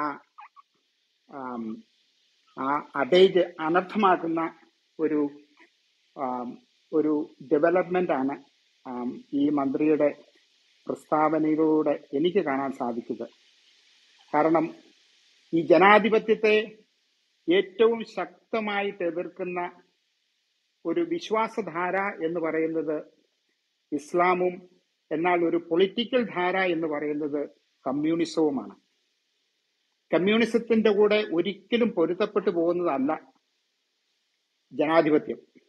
എന്നാൽ നിവൃത്തികേടിന്റെ പുറത്ത് ജനാധിപത്യത്തിന്റെ പരിമിതിക്കുള്ളിൽ നിന്ന് പ്രവർത്തിക്കുന്ന ഏക ഒരു കമ്മ്യൂണിസ്റ്റ് ഗവൺമെന്റ് എന്ന് പറയുന്നത് ഈ ഇന്ത്യയിൽ നമ്മൾ സ്വാതന്ത്ര്യം കിട്ടിയതിനു ശേഷം കണ്ട കേരളത്തിലെയും ബംഗാളിലെയും ത്രിപുരയിലെ മൂന്ന് ഗവൺമെന്റുകളാണ്. അത് നിവൃത്തികേടിന്റെ പുറത്ത് ജനാധിപത്യ മൂല്യങ്ങളെ സഹിച്ചുകൊണ്ട് ഒരു വലിയ കോൺട്രവേഴ്സി ഒഴിവാക്കി ഭരണം തുടർന്നു. ഇസ്ലാം വിശ്വാസവും അതുപോലെ തന്നെ. അവർക്ക് അധികാരം ഒരു പൊളിറ്റിക്കൽ ഇസ്ലാം സ്ഥാപിക്കാനായിട്ടുള്ള സാഹചര്യം ഇല്ലാത്ത സമയത്തെ വളരെ സൗകര്യപൂർവവും ഒരു പരിമിതിക്കുള്ളിൽ നിന്നുകൊണ്ട്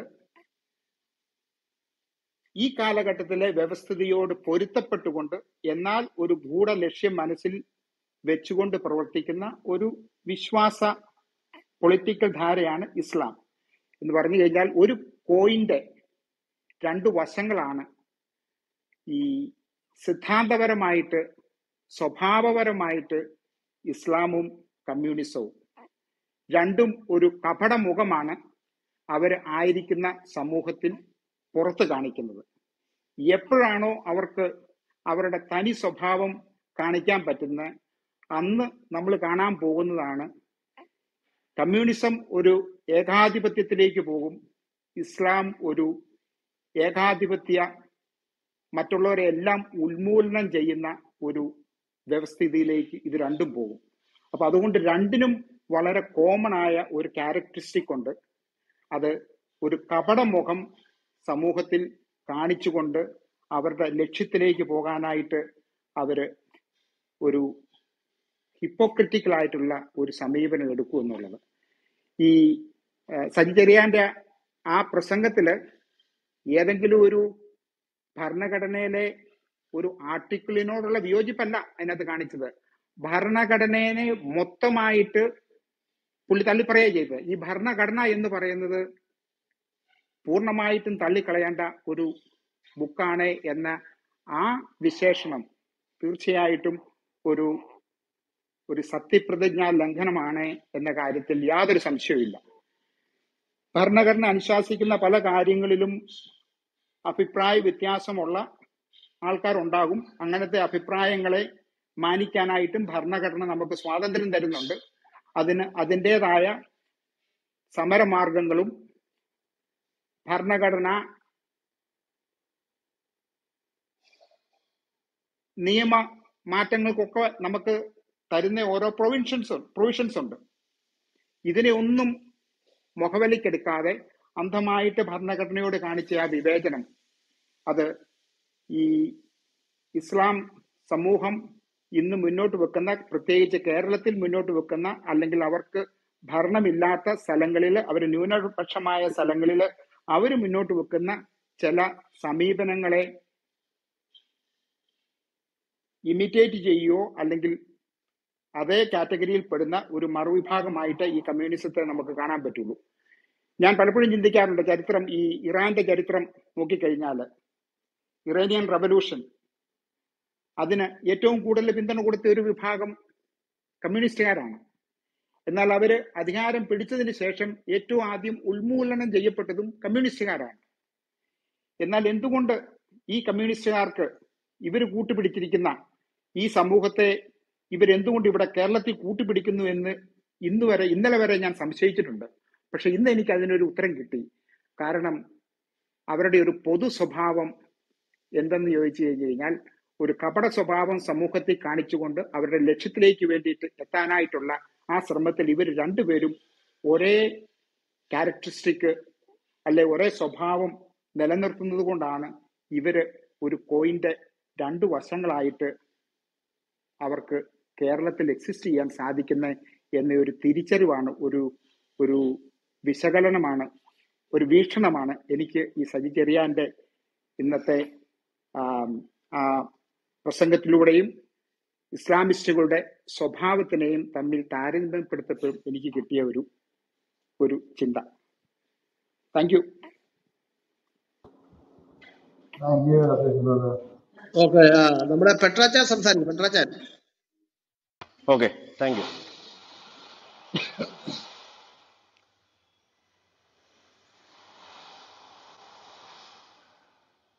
Indian ഭരണഘടനയ്ക്കെതിരെ. ഞാൻ പറയുന്നത് കേൾക്കുന്നുണ്ട്. ഇവിടെ ഒരു സൗണ്ട് വരുന്നുണ്ട്.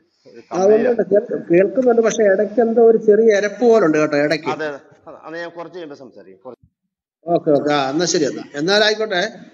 നമ്മുടെ ജോജസ് സംസാരിക്കുക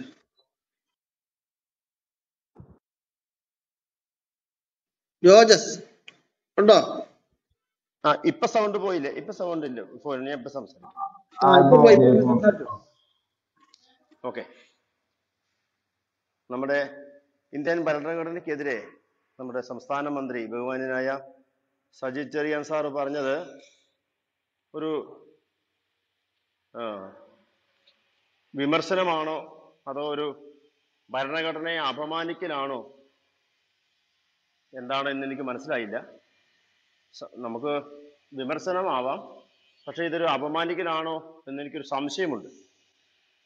അദ്ദേഹം പറഞ്ഞത് ഇന്ത്യയുടെ ഭരണഘടന ജനങ്ങളെ കൊള്ളയടിക്കുന്ന ഭരണഘടനയാണെന്നാണ് പറഞ്ഞത് ജനങ്ങളെ കൊള്ളയടിക്കുന്ന ഭരണഘടന. അത് ചിലപ്പോൾ സ്വന്തം അനുഭവത്തിൽ നിന്നായിരിക്കാം അങ്ങനെയൊക്കെ പറയാൻ കാരണം. കാരണം കൊള്ളയടിക്കാനുള്ള ഒരു വഴികളും ഇവിടുത്തെ ബഹുമാനരായ രാഷ്ട്രീയ നേതാക്കന്മാരോ മന്ത്രിമാരോ ഒന്നും പാഴാക്കി കളയാറില്ല. ഇപ്പൊ നമ്മുടെ കേരയിൽ ഒന്നര ലക്ഷം കോടിയുടെ ഒക്കെ ഇടപാടുകൾ നടത്തുന്ന കേരയിലാണ് ആണെങ്കിലും ഇതൊക്കെ ചിലപ്പോൾ കൊള്ളയടിക്കാനുള്ള സംവിധാനങ്ങളായിട്ട് തോന്നിയിട്ടുണ്ടാവാം. ഇതൊക്കെ ആയിരിക്കാം ആയിരിക്കാം അദ്ദേഹത്തിന് അങ്ങനെ പറയാൻ കാരണം. ജനങ്ങൾ കൊടുക്കുന്ന നികുതി പണം ജനങ്ങൾ കൊടുക്കുന്ന നികുതി പണം അത് അനാവശ്യമായിട്ട് ഇവർ ചെലവഴിക്കുന്നു. അതുപോലെ തന്നെ ഖജനാവ് കൊള്ളയടിക്കുന്നു. ഈ നികുതി കൊടുക്കുന്ന ജനത്തിന് മേൽ കടഭാരം വച്ച് കെട്ടിവെക്കുന്നു. ഇതിനെയൊന്നും സത്യത്തിൽ ആർക്കും ഇവിടെ ഒന്നും ചോദ്യം ചെയ്യാനൊരു ഒരു ആരും ചോദ്യം ചെയ്യുന്നുമില്ല. ചോദ്യം ചെയ്യാൻ ചോദ്യം ചെയ്യുന്നവരെ ഇവിടെ അംഗീകരിക്കത്തുമില്ല. അപ്പോ ഈ ജനങ്ങളെ കൊള്ളയടിക്കുന്ന ഭരണഘടനയാണെന്ന് അദ്ദേഹം പറയുമ്പോൾ ഈ ഭരണത്തിലിരിക്കുന്നവർ അത് ചെയ്തുകൊണ്ടിരിക്കുകയാണ്. എത്രയോ വർഷങ്ങളായിട്ട് ഇടതുപക്ഷ ആണ് കേരളത്തിൽ ഭരിക്കുന്നത്. അതിനു മുമ്പ് വലതുപക്ഷ ഗവൺമെന്റ് ഭരിച്ചു മാറി മാറി ഭരിക്കുന്നു. ഇവർ തിരിച്ചും മറിച്ചും തിരിച്ചും മറിച്ചും ജനത്തെ കൊള്ളയടിക്കുന്നു എന്ന തിരിച്ചറിവ് സജി ചെറിയൻ ഉണ്ടായി എന്നാണ് ഞാൻ മനസ്സിലാക്കുന്നത്. പിന്നെ അദ്ദേഹം പറഞ്ഞത് ചൂഷണത്തെ ചൂഷണത്തെ അംഗീകരിക്കുന്ന ഭരണഘടന. അദ്ദേഹം ഉദ്ദേശിച്ച ചൂഷണം എന്താണ് എന്ന് എനിക്ക് മനസ്സിലായില്ല. ആരെയാണ് ചൂഷണം ചെയ്യുന്നത്? ഏത് ആരെയാണ് എന്ന് എനിക്ക് ഞാൻ പറഞ്ഞതിനേക്കും എനിക്ക് കൃത്യമായിട്ട് മനസ്സിലായില്ല. അതുപോലെ തന്നെ അദ്ദേഹം പറഞ്ഞു തൊഴിലാളികളുടെ സമരം അംഗീകരിക്കാത്ത രാജ്യം. അതിന് കാരണം ഭരണഘടനയാണെന്ന് അദ്ദേഹം പറഞ്ഞത്. തൊഴിലാളി ഇവിടെ തൊഴിലാളികൾക്ക് വേണ്ടി ഏറ്റവും അധികം സമരം നടത്തുന്ന തൊഴിലാളികൾ ഏറ്റവും അധികം സമരം നടത്തുന്ന ഒരു രാജ്യമാണ് ഇന്ത്യ. എല്ലാ വർഷത്തിലും ഒരു നേർച്ച പോലെ ഒരു ഒരു സമരമുണ്ട്. എല്ലാ വർഷവും എന്തിനാണ് ഇന്ത്യ മുഴുവൻ ഒരു ട്രേഡ് യൂണിയൻ സമരം എല്ലാ വർഷവും രണ്ട് ദിവസമോ മൂന്ന് ദിവസമോ അടുപ്പിച്ചൊരു അല്ലെങ്കിൽ ഓരോ ദിവസങ്ങളായിട്ടോ?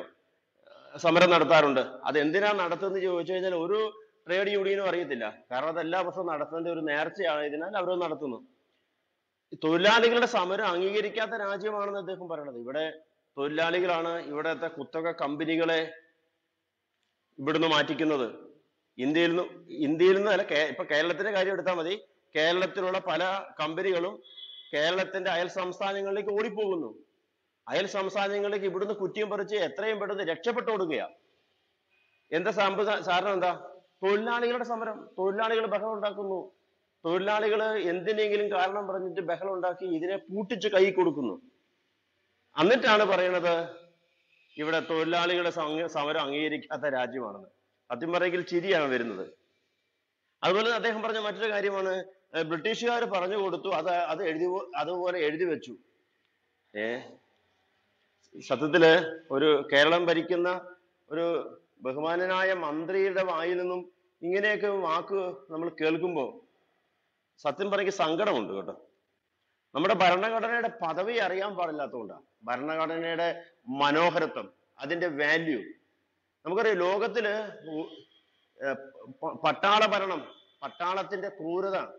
പട്ടാള ഭരണം നേരിട്ട് അനുഭവിച്ച പല രാജ്യങ്ങളുണ്ട്. നമ്മുടെ തൊട്ടടുത്ത് ബർമ്മ മ്യാൻമാർ എന്ന് പറയുന്നത് ബർമ പാകിസ്ഥാൻ നിരന്തരമായി പട്ടാള ഭരണം നടത്തിക്കൊണ്ടിരിക്കുകയാണ്. അവിടെയൊന്നും ഒരു ജനാധിപത്യ അവകാശമില്ല. പൗരാവകാശമില്ല. മതസ്വാതന്ത്ര്യമില്ല. ന്യൂനപക്ഷ അവകാശങ്ങളില്ല. സ്ത്രീകൾക്ക് സ്വാതന്ത്ര്യമില്ല. ഇതൊന്നും ഇല്ല. എന്നാൽ ഇന്ത്യ എന്ന് പറയുന്ന മഹാരാജ്യത്ത് ഈ നമ്മൾ ഇവിടെ ഇരുന്ന് സംസാരിക്കുന്നത് പോലും ആ ഭരണഘടനയുടെ മനോഹരത്വമാണ്. ഭരണഘടനയുടെ ആ മാധുര്യമാണ്. പട്ടാളം എന്ന് പറയുന്ന ഒരു സംവിധാനം പട്ടാളം നേരിട്ട് ഇന്ത്യയിൽ ഇതുവരെ ഇങ്ങനെ ഒരു അട്ടിമറിയോ ഭരണമോ നടത്തിയിട്ടില്ല. ലോകത്തിൽ പല രാജ്യങ്ങളും നടന്നിട്ടുണ്ട്.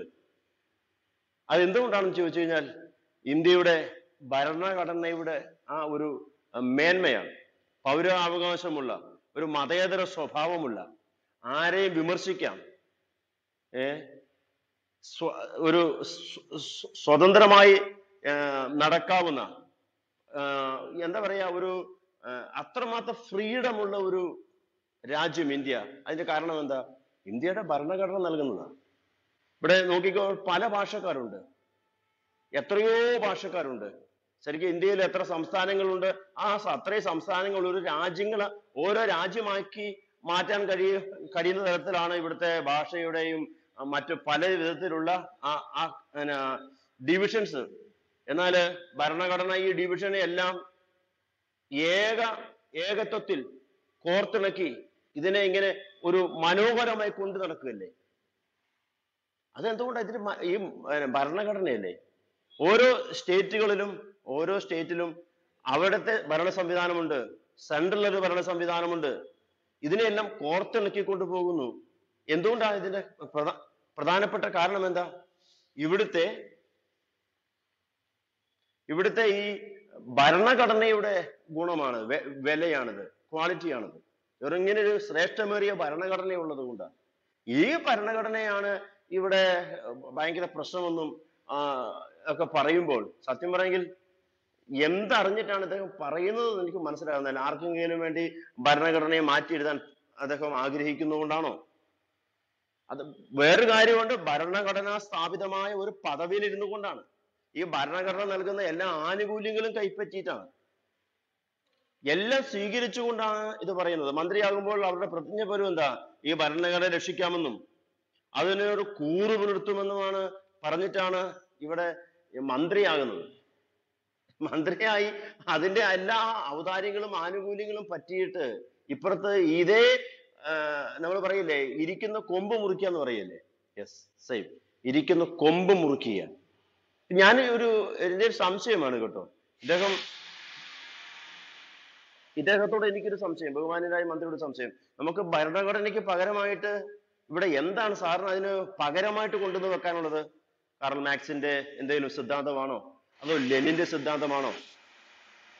അതോ നമ്മുടെ തൊട്ട അയൽരാജ്യമായ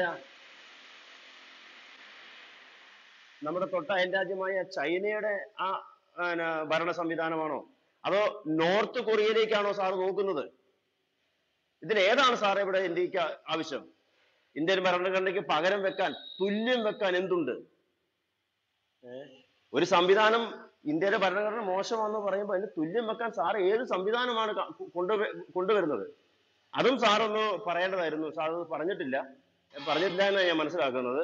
ഏതായാലും കേരളത്തിലുള്ള ബഹുമാനനായ ഈ സജി ചെറിയാൻ സാറിനോടുള്ള ശക്തമായ വിയോജിപ്പും ഇന്ത്യൻ ഭരണഘടനയോടുള്ള കൂറും സ്നേഹവും ഈ സമയത്ത് ഞാൻ അറിയിക്കുന്നു. ദൈവം എല്ലാവരും അനുഗ്രഹിക്കട്ടെ. Thank you okay thank you ഇനി ആരാ സംസാരിക്കുള്ളൂ നമ്മുടെ ജോജസ് ഉണ്ടോ? ജോജസ് ജോജസ് ഇല്ല എങ്കിൽ അഖിലിലേക്ക് പോവാം. അഖിൽ സംസാരിച്ചാട്ടെ. നമ്മുടെ ഈ ടോപ്പിക്കിൽ നിന്നുകൊണ്ട് നമ്മൾ ഷെയർ ചെയ്യണം പ്രോഗ്രാം ഷെയർ ചെയ്യണേ. പ്രോഗ്രാം മാക്സിമം ഷെയർ ചെയ്തേ ഹാൾവേയിൽ കാണാൻ പറ്റില്ല. താഴെ കാണുന്ന രണ്ടാമത്തെ സൈൻ ഓപ്റ്റ് ചെയ്യുക. അവിടെ ആ ഷെയർ ഓപ്ഷനിൽ സ്പർശിച്ചിട്ട് തുടർന്ന് അതിന് വേണ്ട അടുത്ത ഓപ്ഷൻ കിട്ടും. അതനുസരിച്ച് ഷെയർ ചെയ്യണം. ഇവിടെ ഇപ്പോൾ ഏതാണ്ട് ഇരുന്നൂറ്റിയഞ്ച് പേരെ കാണിക്കുന്നു. മുപ്പത്തിനാല് പേരെ ഷെയർ ചെയ്തിട്ടുള്ളൂ. അത് മാക്സിമം ഷെയർ ചെയ്തില്ലെങ്കിൽ ഹാൾവേയിൽ ഇത് കാണൂല. റിപ്പോർട്ട് അടിക്കാനിടയുണ്ട് വിഷയത്തിന്റെ പ്രത്യേകത നിങ്ങൾക്കറിയാമല്ലോ അതുകൊണ്ട് പരമാവധി ആളുകളിലേക്ക് എത്തണം. താങ്ക് യു ഓക്കെ നമ്മുടെ അഖിൽ സുഹൃത്ത് സംസാരിക്കൂ. ഈ ശീർഷകത്തിൽ നിന്നുകൊണ്ട് സംസാരിക്കൂ. ഓക്കെ.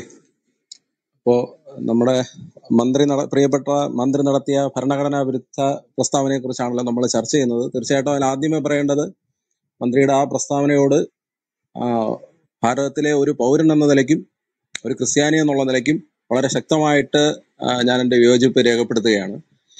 പുള്ളി എങ്ങനെയാണ് ഏത് സാഹചര്യത്തിലാണ് ഇത് പറഞ്ഞതെന്ന് ഇന്നും നമുക്ക് വ്യക്തമല്ല. പുള്ളിയുടെ ഒരു പ്രസംഗത്തിനിടയ്ക്കാണ് നമുക്കിത് വന്നതെന്ന് നമുക്കറിയാം. പക്ഷെ അതിന്റെ പിന്നിലുള്ള ചേതോവികാരം എന്ത് എന്നുള്ളതിനെ കുറിച്ചാണ് ചർച്ചകൾ നടന്നുകൊണ്ടിരിക്കുന്നത്. അപ്പോൾ തീർച്ചയായിട്ടും നേരത്തെ സംസാരിച്ച വ്യക്തികളിൽ നിന്ന് അവരുടെ ചർച്ചകളിൽ നിന്നെല്ലാം നമുക്ക് മനസ്സിലാകുന്നത് തീർച്ചയായിട്ടും ഇതിന്റെ പിന്നിൽ ഒരു അജണ്ടയുണ്ട്. ഇതിന്റെ പിന്നിൽ അത് കമ്മ്യൂണിസമാണ് എന്ന് ഞാൻ ചിന്തിക്കുന്നില്ല.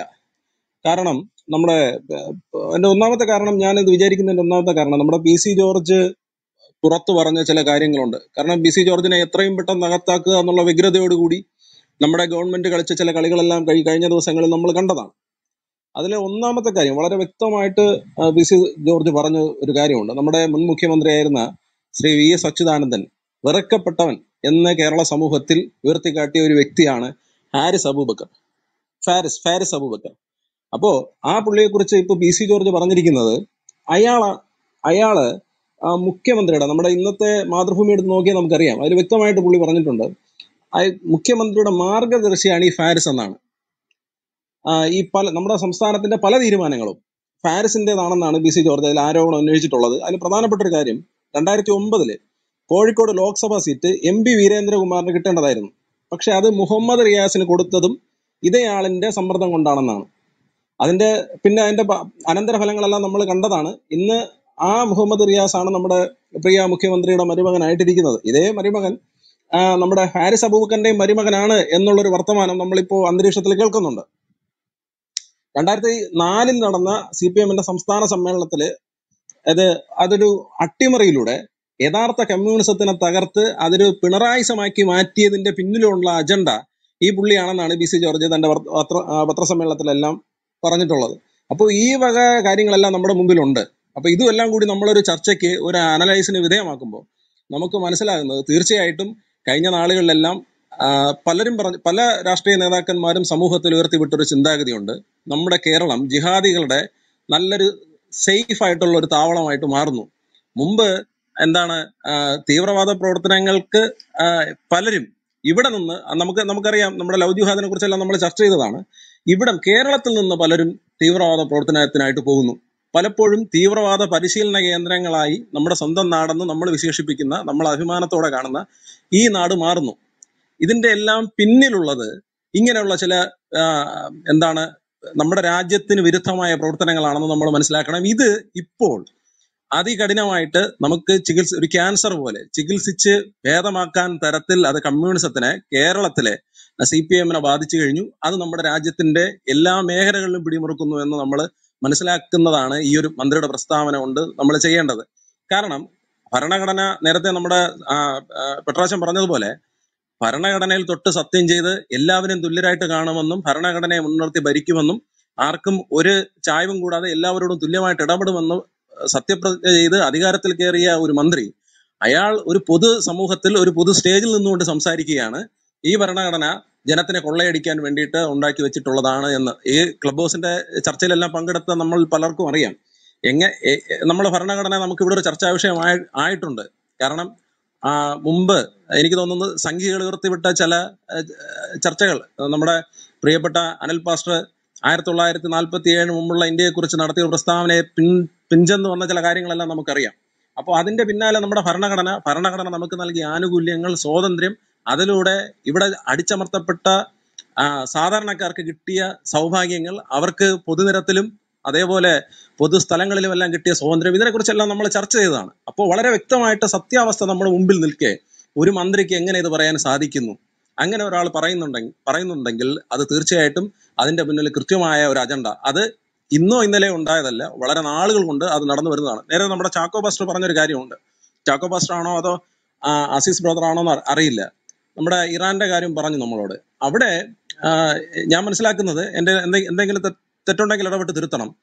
അവിടെ കമ്മ്യൂണിസ്റ്റുകളും ജിഹാദികളും താലിബാനിസ്റ്റുകളും ഒരുമിച്ച് ഭരണം പിടിക്കുകയും പക്ഷേ ഭരണം കൈയാളിയ ഉടനെ ഈ കമ്മ്യൂണിസ്റ്റിന്റെ സകല നേതാക്കന്മാരെ അവിടെ കുടുംബത്തോടെ കൊന്നുകളഞ്ഞു എന്നുള്ളതാണ് ഞാൻ മനസ്സിലാക്കുന്നത്. അപ്പോ ഇവിടത്തെ കമ്മ്യൂണിസ്റ്റുകാർക്ക് എന്തുകൊണ്ടത് മനസ്സിലാകുന്നില്ല. അല്ലെങ്കിൽ അവരത് മനസ്സിലാക്കിയിട്ട് ഇന്നത്തെ താൽക്കാലിക ലാഭത്തിന് വേണ്ടി അവരത് മറന്നു കളയുന്നു തീർച്ചയായിട്ടും നമ്മുടെ കേരളം മുമ്പോട്ട് പോയിക്കൊണ്ടിരിക്കുന്നത് അത് വളരെ തീവ്രമായിട്ടുള്ള ഒരു എന്താണ് ഒരു ഒരു അവസ്ഥയിൽ കൂടി തന്നെയാണ്. ഇന്ന് അതിന്റെ മുകളിൽ നമുക്ക് എന്താണ് നമ്മുടെ കേക്കിന്റെ പുറത്ത് ക്രീം പുരട്ടുന്നത് പോലെ നമുക്കതൊരു പഞ്ചസാര പൊതിഞ്ഞ രീതിയിൽ ഇന്ന് പലതും കാണുന്നുണ്ടെങ്കിലും ഇതിന്റെ അടിയിലെല്ലാം മാരകമായിട്ടുള്ള വിഷമാണെന്ന് നമ്മൾ തിരിച്ചറിയണം. പ്രത്യേകിച്ച് നമ്മൾ ക്രിസ്ത്യാനികൾ തിരിച്ചറിയണം. ഈ മന്ത്രി സജിച്ചറിയാൻ ഒരു ക്രിസ്ത്യാനിയാണ് എന്നാണ് ഞാൻ വിശ്വസിക്കുന്നത്. പക്ഷെ നേരത്തെ നമ്മുടെ ആസിസ് ബ്രദർ പറഞ്ഞതുപോലെ ആ ഒരിക്കലും കമ്മ്യൂണിസത്തിന് മതവുമായിട്ട് ചേർന്ന് പോകാനായിട്ട് സാധിക്കുകയില്ല. ഒരിക്കലും ഇവർക്ക് നമ്മുടെ ജിഹാദികൾക്ക് അല്ലെങ്കിൽ ഇസ്ലാമിസ്റ്റുകൾക്ക് മറ്റൊരു മതത്തിനെ ഉൾക്കൊള്ളാനും സാധിക്കുകയില്ല. നമ്മുടെ ഇന്ത്യയുടെ ചരിത്രം പഠിച്ചാൽ നമുക്കറിയാം നമ്മൾ പല ഭാഷക്കാരാണ് ഇവിടെ ഉള്ളത് പല മതക്കാരാണ് ഇവിടെ ഉള്ളത്. അത് നമ്മൾ എപ്പോഴും പുറത്തു പറയുന്ന ഹിന്ദുവും ക്രിസ്ത്യനും മുസ്ലിമും മാത്രമല്ല. മറ്റനേക മതങ്ങൾ ഇവിടെയുണ്ട്. ചെറിയ ചെറിയ ട്രൈബുകൾ അവരുടേതായ ആരാധന രീതികൾ പിൻചൊല്ലുന്നവരോട് ഇവിടെയുണ്ട്. ഇതിനെ ഒന്ന് ഉൾക്കൊള്ളാൻ ഹിന്ദു മതത്തിന് അതിന്റെതായ മാറ്റങ്ങൾ വരുത്തി അവരത് ഉൾക്കൊള്ളുന്നു. ക്രിസ്തു മതം പൂർണമായിട്ടും അവരെ ഉൾക്കൊള്ളുന്നു. പക്ഷെ ഒരിക്കലും ജിഹാദ് ജിഹാസ് ജിഹാദിസത്തിന് അല്ലെങ്കിൽ മുസ്ലിങ്ങൾക്ക് മുസ്ലിമിസത്തിന് ഇതിനെ ഒന്നും ഉൾക്കൊള്ളാനായിട്ട് സാധിക്കുകയില്ല. അതിനെ പൂർണമായിട്ട് നാശം വരുത്താതെ അവരൊരിക്കലും പിന്മാറത്തുമില്ല. നമുക്ക് നേരത്തെ അത് നമ്മൾ ഇവിടെ ഇസ്ലാം മത സ്ഥാപകനായ അവരുടെ ഏറ്റവും വലിയ പ്രവാചകനായ മുഹമ്മദ് പറഞ്ഞ ഹദീസുകൾ തന്നെ നമ്മുടെ മുമ്പിലുണ്ട്. ഇന്ത്യ ആക്രമിക്കുന്നവർക്ക് സ്വർഗരാജ്യം കിട്ടുമെന്നുള്ളൊരു സംഗതി നമ്മുടെ മുമ്പിലുണ്ട്. പക്ഷെ അവർ ഇന്ന് അതിനുപയോഗിക്കുന്നത് ഇത് തോക്കും വാളും ഒരു ഭാഗ- ഭാഗത്ത് ഉപയോഗിക്കുന്നുണ്ടെങ്കിലും വളരെ അതിശക്തമായിട്ട് കാശ് അതിനു വേണ്ടിയിട്ട് അവർ മുടക്കുന്നുണ്ട്. ഈ ഇത്രയും എന്ന് വെച്ചാൽ കേരളത്തിന്റെ ഒരു മന്ത്രിയെ തന്നെ സ്വാധീനിക്കാൻ തക്ക രീതിയിലുള്ള ഒരു സ്വാധീനം അവർക്ക് ഇവർ വോട്ട് ബാങ്കാണ് അവർ ഉദ്ദേശിക്കുന്നത്. തീർച്ചയായിട്ടും അത് തന്നെയാണ്. അടുത്ത ഇലക്ഷനെ ലക്ഷ്യം വെച്ചുള്ള പ്രവർത്തനം തന്നെയാണ് അത് ഇവർ നടത്തിക്കൊണ്ടിരിക്കുന്നത്. പക്ഷേ ഒരു കാര്യം പണ്ടുള്ള ആൾക്കാർ പറയുന്ന ഒരു പഴഞ്ചൊല്ലുണ്ട് താൻ ചത്ത് മീൻ പിടിക്കരുതെന്ന്. ഇതാണ് ഇന്നത്തെ കമ്മ്യൂണിസ്റ്റ് ഇവിടെ ചെയ്തുകൊണ്ടിരിക്കുന്നത്.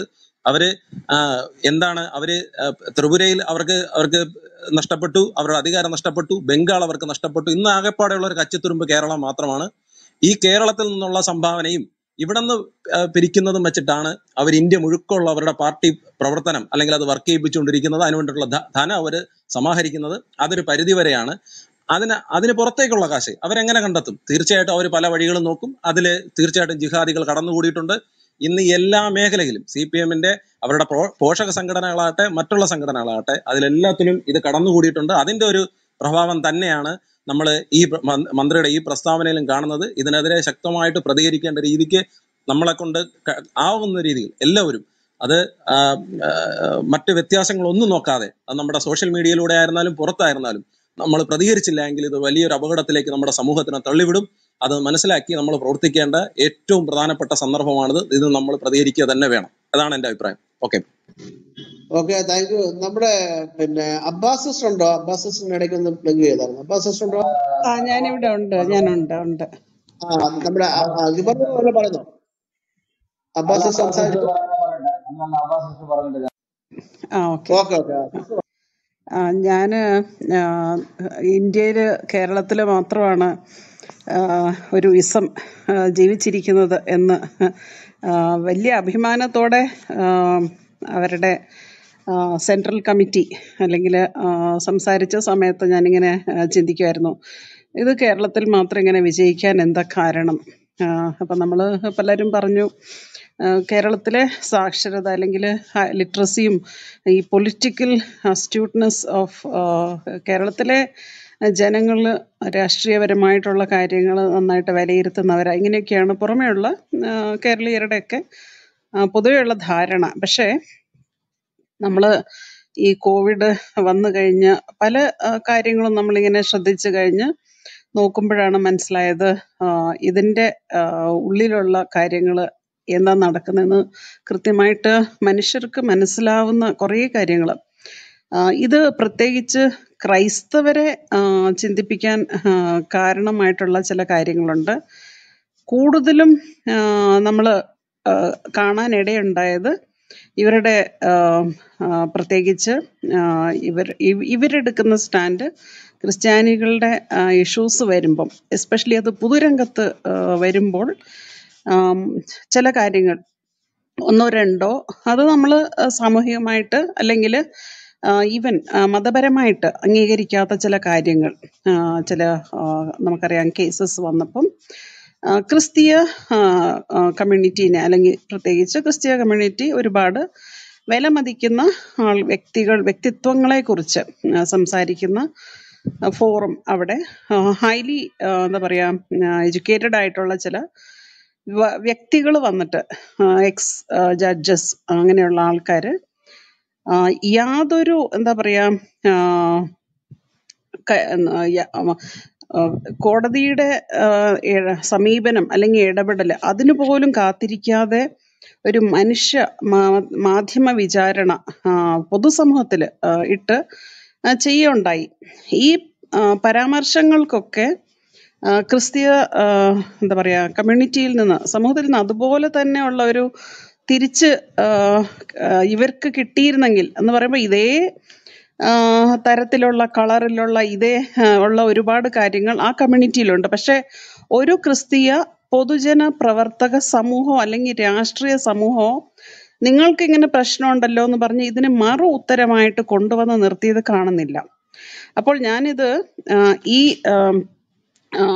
വ്യക്തി എന്ന് പറയുമ്പോൾ രാഷ്ട്രീയ പ്രസ്താവന നടത്തിയ ഈ നമ്മുടെ കോൺസ്റ്റിറ്റ്യൂഷനെ കുറിച്ച് സംസാരിച്ചിട്ടുള്ള ഈ ഒരു പ്രമുഖനായിട്ടുള്ള ഒരു വ്യക്തി പറഞ്ഞ കാര്യങ്ങൾ നമ്മുടെ അദ്ദേഹത്തിന് നിരാശയായിരിക്കും എന്നാണ് ഞാൻ കരുതുന്നത്. ഇത് കേൾക്കുമ്പോൾ എന്ന് പറയുമ്പം ജനാധിപത്യത്തിൽ ഇവർക്ക് ഇവർ ഇവർ ഞാൻ ഈ ഇടയ്ക്ക് ക്ലബ് ഹൗസിൽ തന്നെ ഒരു റൂം ഉണ്ടായിരുന്നു. ചുമപ്പ് സോറി ചുമപ്പിനെ പച്ച വിഴുങ്ങിയോ എന്നുള്ളൊരു റൂമായിരുന്നു. ആ റൂം കുറച്ചു നേരം ഞാൻ കേൾക്കുണ്ടായി അത് ആ കേട്ട സമയത്ത് ഞാനിങ്ങനെ ചിന്തിക്കുമായിരുന്നു അവിടുത്തെ കാര്യങ്ങൾ ഇവർക്ക് നിരാശയാണ്. ബിക്കോസ് ജനാധിപത്യത്തിൽ ഒരു എല്ലാവരും ചിന്തിക്കുന്നത് പിണറായി എന്തോ വലിയ കാര്യങ്ങൾ ചെയ്തു എന്ന് പറയുമ്പം ഈ രാഷ്ട്രീയത്തിൽ നന്നായിട്ട് മെനീവർ ചെയ്ത് ഇതിനെ കമ്മ്യൂണിസത്തിനെ പുനരുദ്ധീകരിക്കാനുള്ള ഒരു ഇതാണെന്ന്.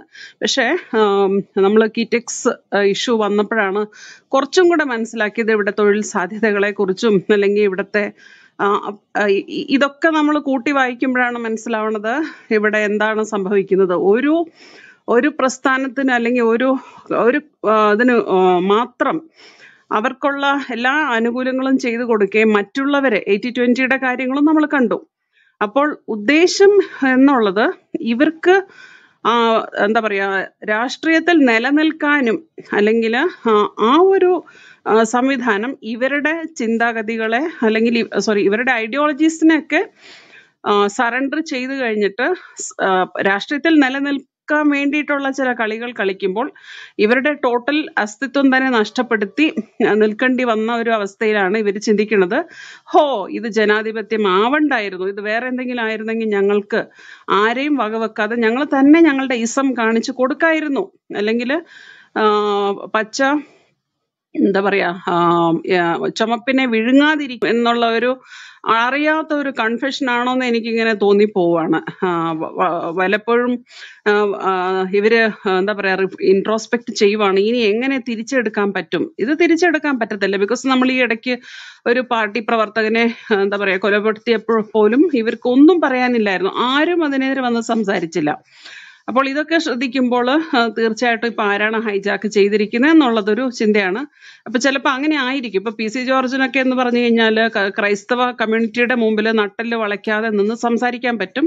ഇവിടെ ചാറ്റ് ബോക്സിൽ ആരൊക്കെ ഇങ്ങനെ എഴുതിയിരിക്കുന്നത് ഞാൻ കണ്ടായിരുന്നു. പി സിയെ വെളുപ്പിക്കാനുള്ള പരിശ്രമമാണ്. പി സി ആരും വെളുപ്പിക്കേണ്ട ആവശ്യമില്ല. അദ്ദേഹം അദ്ദേഹത്തിന്റെ രാഷ്ട്രീയ നിലപാടുകളും സാമൂഹിക നിലപാടുകളും കാഴ്ചപ്പാടുകളും ഒക്കെ മുന്നോട്ട് വെക്കും. അദ്ദേഹത്തിനത് ജസ്റ്റിഫൈ ചെയ്യാൻ പറ്റുവാണെങ്കിൽ അദ്ദേഹത്തെ മറ്റുള്ളവർ അംഗീകരിക്കോ?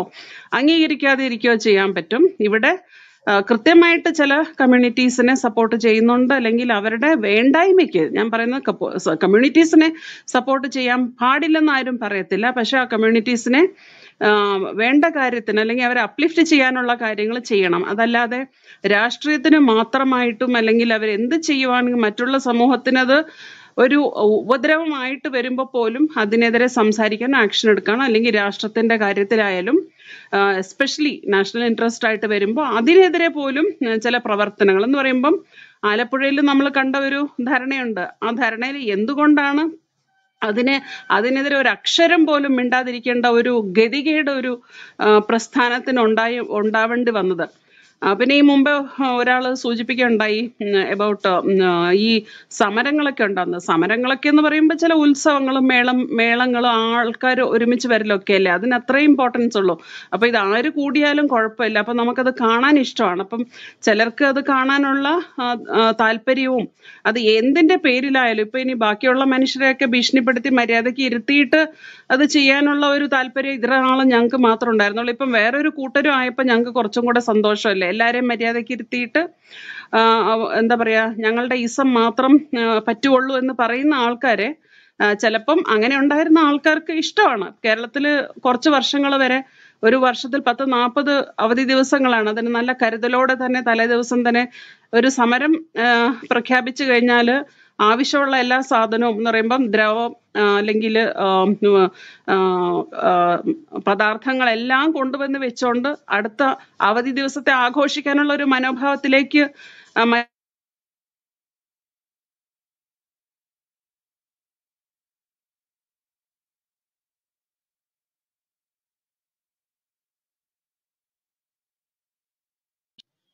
എന്നെ കേട്ടായിരുന്നോ? ഞാൻ അല്പം മുറിഞ്ഞു പോയി.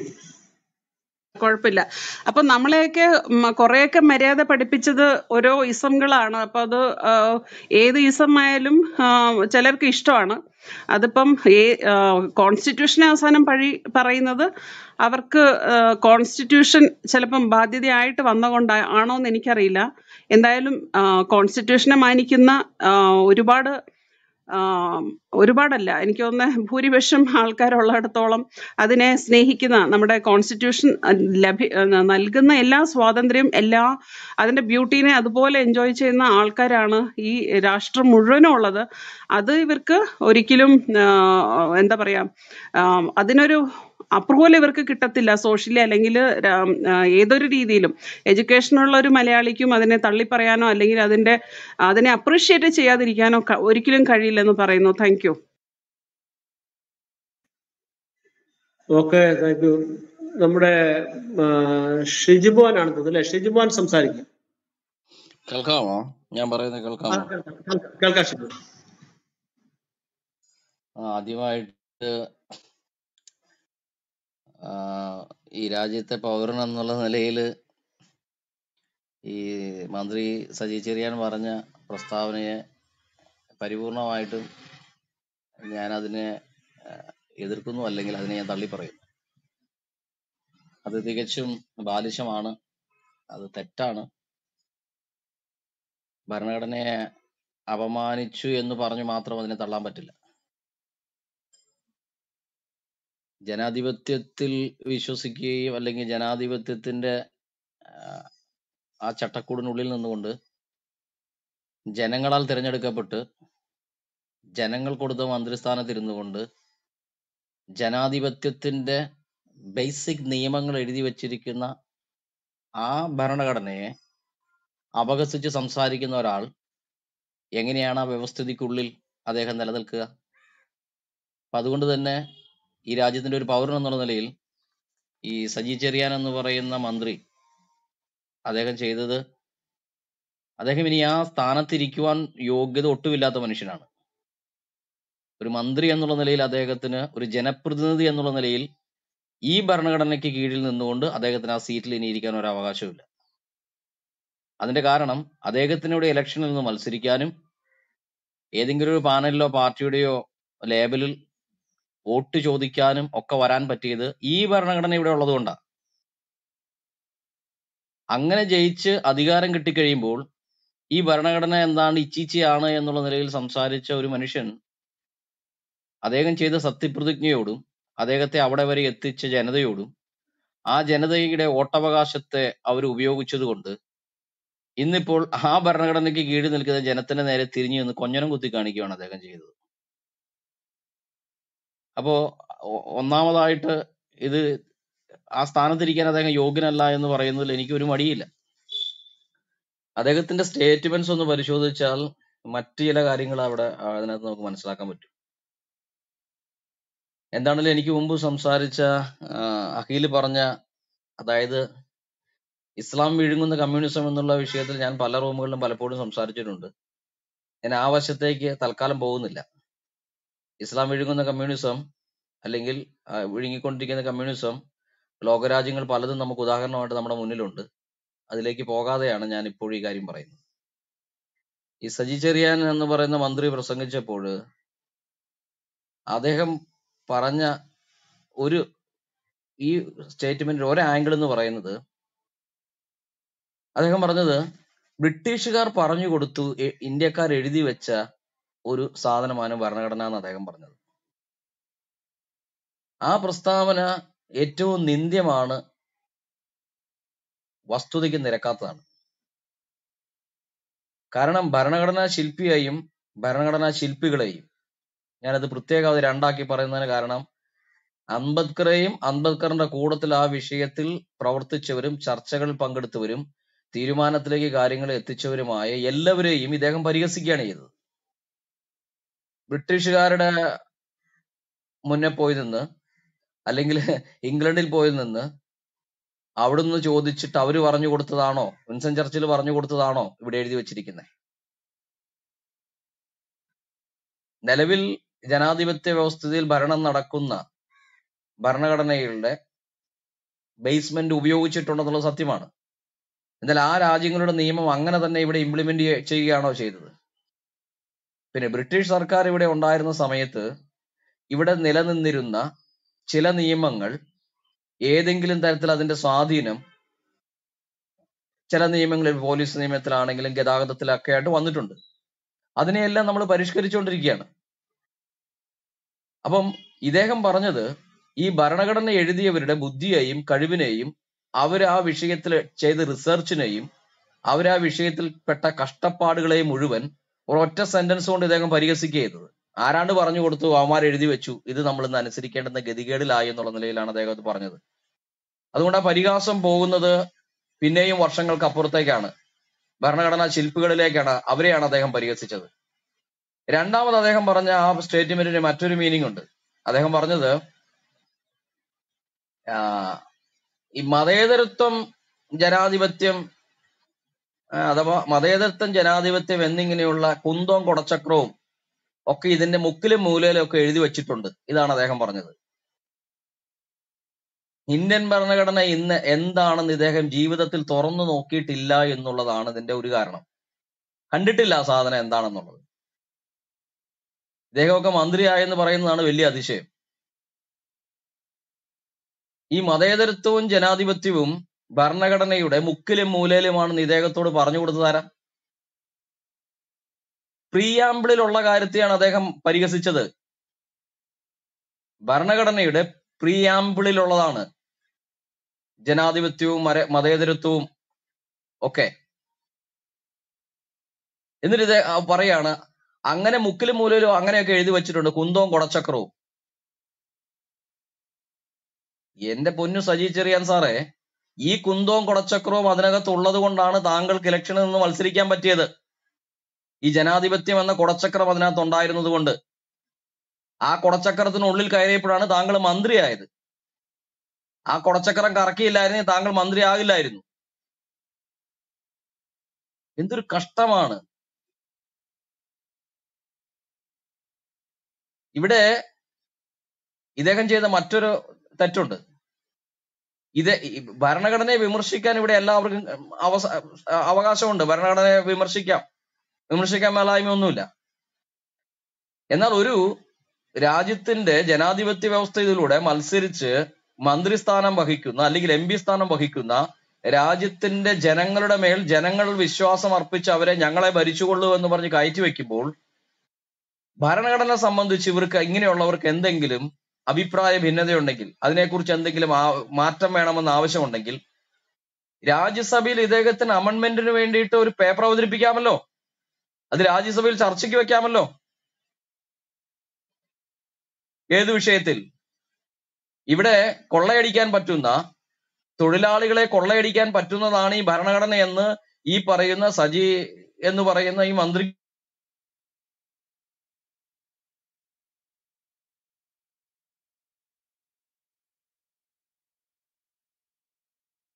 എന്ന് പറഞ്ഞ് ഇദ്ദേഹം രാജ്യസഭയിൽ ഒരു ഒരു പേപ്പർ അവതരിപ്പിക്കട്ടെ ചർച്ചയ്ക്ക് വെക്കട്ടെ. അതിനല്ലേ നമ്മൾ ഇവരെ തെരഞ്ഞെടുത്ത് അയച്ചിരിക്കുന്ന ജനങ്ങൾ? അല്ലാതെ കണ്ട് മൈക്ക് കിട്ടിക്കഴിയുമ്പോൾ ആവേശപ്രസംഗം പറഞ്ഞിട്ട് ജനങ്ങൾ വിശ്വസിക്കുന്ന ജനാധിപത്യത്തിന്റെ അടിസ്ഥാനമായി നിലനിൽക്കുന്ന ഭരണഘടനയെ അപകസിക്കുകയാണോ ചെയ്യേണ്ടത്? അപ്പൊ ഇരിക്കുന്ന പൊസിഷൻ എന്തെന്ന് പോലും തിരിച്ചറിയാൻ കഴിവില്ലാത്ത ഒരു മനുഷ്യനായി ഈ പറയുന്ന മന്ത്രി അതപ്പതിച്ചു പോയി എന്നുള്ളതാണ് നമ്മൾ മനസ്സിലാക്കേണ്ട യാഥാർത്ഥ്യം. ഇനി ഏതൊരു അമെന്റ്മെന്റ് നടപ്പാക്കുവാനും ഇവിടെ ജനങ്ങളാൽ തിരഞ്ഞെടുക്കപ്പെട്ട് മോഡിലേക്ക് പോയിരിക്കുന്ന ഇവർക്കൊക്കെ ആ കാര്യങ്ങൾ അവതരിപ്പിക്കാനുള്ള സാവകാശം ഇന്ത്യൻ ഭരണഘടന നൽകുന്നുണ്ട്. അത് അവിടെ പറയേണ്ടതിന് പകരം അത് വന്ന് പബ്ലിക്കലി വിളിച്ചു പറഞ്ഞ് സ്വയം അപഹാസിതനായി എന്നുള്ളതാണ് ഈ മന്ത്രി സജി ചെറിയാൻ ചെയ്തിരിക്കുന്നത്. അപ്പൊ ഈ ഈ- വിഷയത്തിൽ നമ്മൾ നമ്മൾ മനസ്സിലാക്കേണ്ട കാര്യം ഇദ്ദേഹത്തിന്റെ ഉത്തരവാദിത്വം ഇദ്ദേഹം ഏറ്റെടുക്കുന്നില്ല. ഇദ്ദേഹം ഭരണഘടനയെ ശില്പികളെ അപമാനിച്ചു. ഇദ്ദേഹം ഭരണഘടന ഇദ്ദേഹത്തിന് കൊടുത്ത ഈ ജനങ്ങൾ നൽകി ജനങ്ങൾക്ക് കൊടുത്തിരിക്കുന്ന ജനാധിപത്യം എന്ന വ്യവസ്ഥിതിക്കുള്ളിലാണ് ഇദ്ദേഹം ഇന്ന് ഈ സ്ഥാനത്ത് എത്തിയെന്നുള്ള കാര്യം ഇദ്ദേഹം മറന്നു. ഇങ്ങനെയൊക്കെയുള്ള ഒരു ഒരാൾ ഏത് വ്യവസ്ഥയിലാണ് മന്ത്രിയായി തുടരുക? ഇനി ഇദ്ദേഹം പറഞ്ഞ ഒരു സ്റ്റേറ്റ്മെന്റിന് പ്രധാന സ്റ്റേറ്റ്മെന്റിന് മറ്റൊരു മാനമുണ്ട്. ഇദ്ദേഹം പറഞ്ഞു തൊഴിലാളികളെ കൊള്ളയടിക്കാൻ തൊഴിലാളികളെ വഞ്ചിച്ച് ചതിച്ച് കട്ടെടുക്കുവാൻ അല്ലെങ്കിൽ മോഷ്ടിച്ചെടുക്കുവാൻ കഴിയുന്ന ഒരു ഭരണഘടനയാണ് നമുക്കുള്ളതെന്ന് പറഞ്ഞു. അതിന് അദ്ദേഹം ഉദാഹരണം പറഞ്ഞത് ഇവിടുത്തെ ഇന്ത്യയിലെ ചില കോർപ്പറേറ്റ് കമ്പനികളുടെ മേലാളന്മാരുടെ പേരുകളാണ് പറഞ്ഞത്. ഈ ഭരണഘടനയിൽ സ്വത്ത് സമ്പാദിക്കാനും ആ സ്വത്ത് ഈ രാജ്യത്ത് ബിസിനസ്സിലോ മറ്റു കാര്യങ്ങൾക്കോ സാധന ജംഗമ വസ്തുക്കൾ വാങ്ങിച്ചു കൂട്ടുന്നതിനോ ബിസിനസ് ചെയ്യുവാനോ ഇതേ ഭരണഘടന ഓരോരുത്തരെയും അനുശ്വാസിക്കുന്നുണ്ട്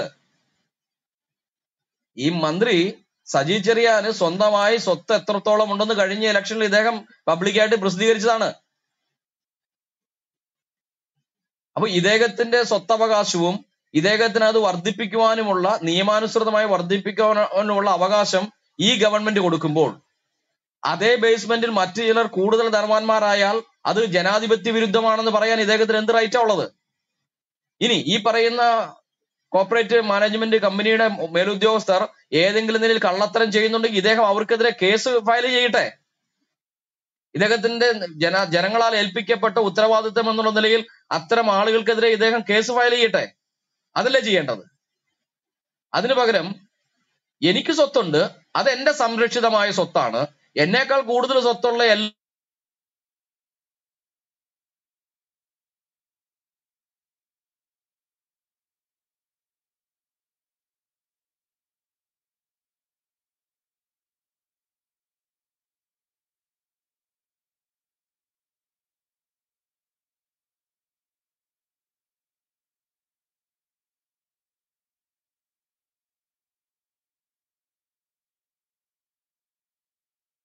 ഞാൻ ഒന്നും കേൾക്കുന്നില്ല.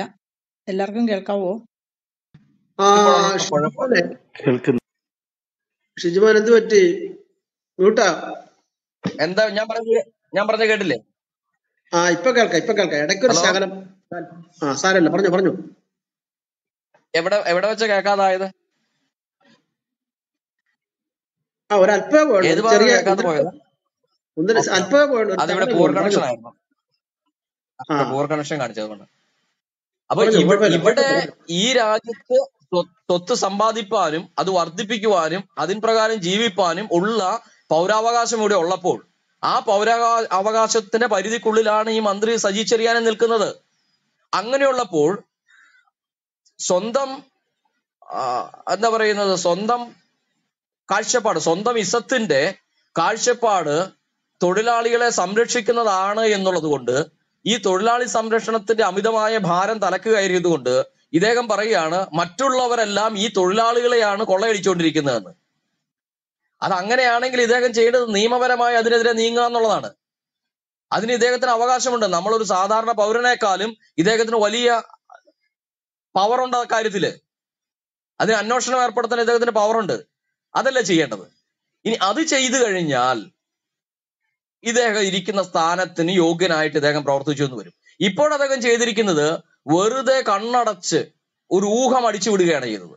ഇനി ഈ കമ്മ്യൂണിസം എന്നുള്ള വ്യവസ്ഥിതിയിലേക്ക് വരുമ്പോൾ തൊഴിലാളികളെ കൊള്ളയടിക്കുന്നു തൊഴിലാളികളെ കൊള്ളയടിക്കുവാൻ വേണ്ടി ഇവിടുത്തെ ഭരണഘടന അനുവദിക്കുന്നു എന്ന് ഇദ്ദേഹം പറഞ്ഞു.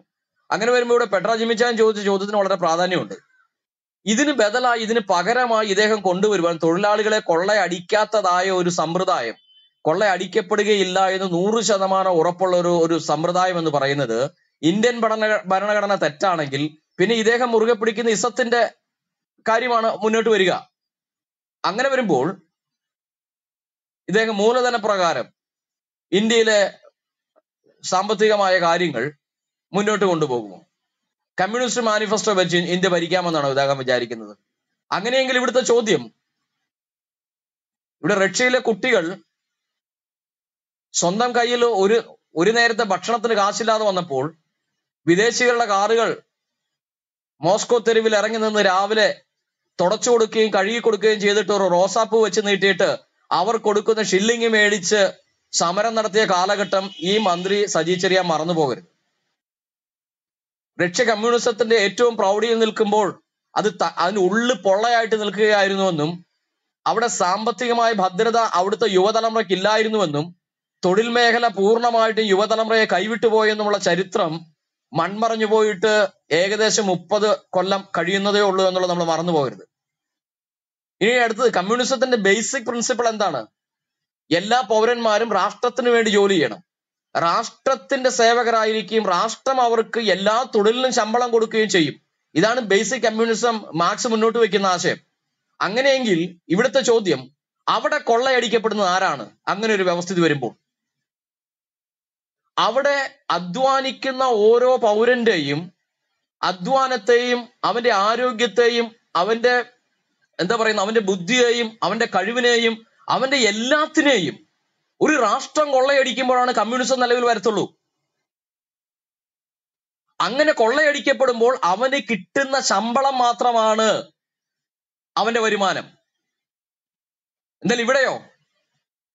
ഈ മുതലാളിത്ത രാഷ്ട്രമെന്ന് യൂറോപ്പിനെ നോക്കിയിട്ടോ അമേരിക്കയെ നോക്കിയിട്ടോ വിളിച്ചു പറയുമ്പോൾ ഈ ഇന്ത്യൻ ഭരണഘടന മുതലാളിത്ത രാഷ്ട്രത്തിലെ സ്വത്ത് സമ്പാദന നിയമം ഇവിടെ നിലനിൽക്കുന്നത് കൊണ്ടാണ് ഈ കമ്മ്യൂണിസം തലക്ക് കയറി ഇവർക്ക് ഇത് കാണുമ്പോൾ പേടി തോന്നുന്നത് ഭ്രാന്ത് കയറുന്നത്.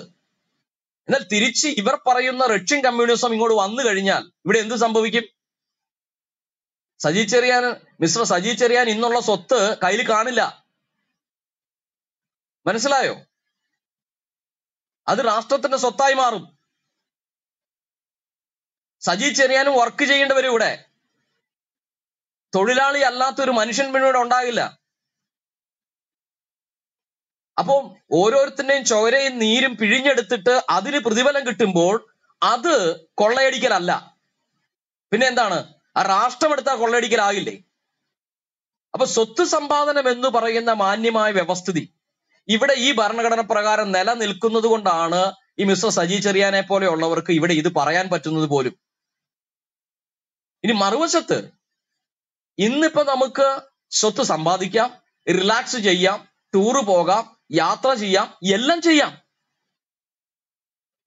അവിടെ ഒരുവന്റെയും മുന്നേ പോയി നിന്നിട്ട് നമുക്ക് ഈ ഭരണഘടനയ്ക്കുള്ളിൽ നിന്നിട്ട് നിർബന്ധിതമായ ഒരു ലേബർ പണിഷ്മെന്റ് പോലെ ഒരു കാര്യവുമില്ല ഇവിടെ. മനസ്സിലായോ? അതേ സ്ഥാനത്ത് കമ്മ്യൂണിസം നിങ്ങളുടെ മേളിൽ മെതിവണ്ടി കയറ്റി ഉരുട്ടുകയാണെങ്കിൽ അവിടെ ഞെരങ്ങാനല്ലാതെ കൊണ്ട് ഒന്നും ചെയ്യാൻ പറ്റില്ല ഒരു തൊഴിലാളിക്കും.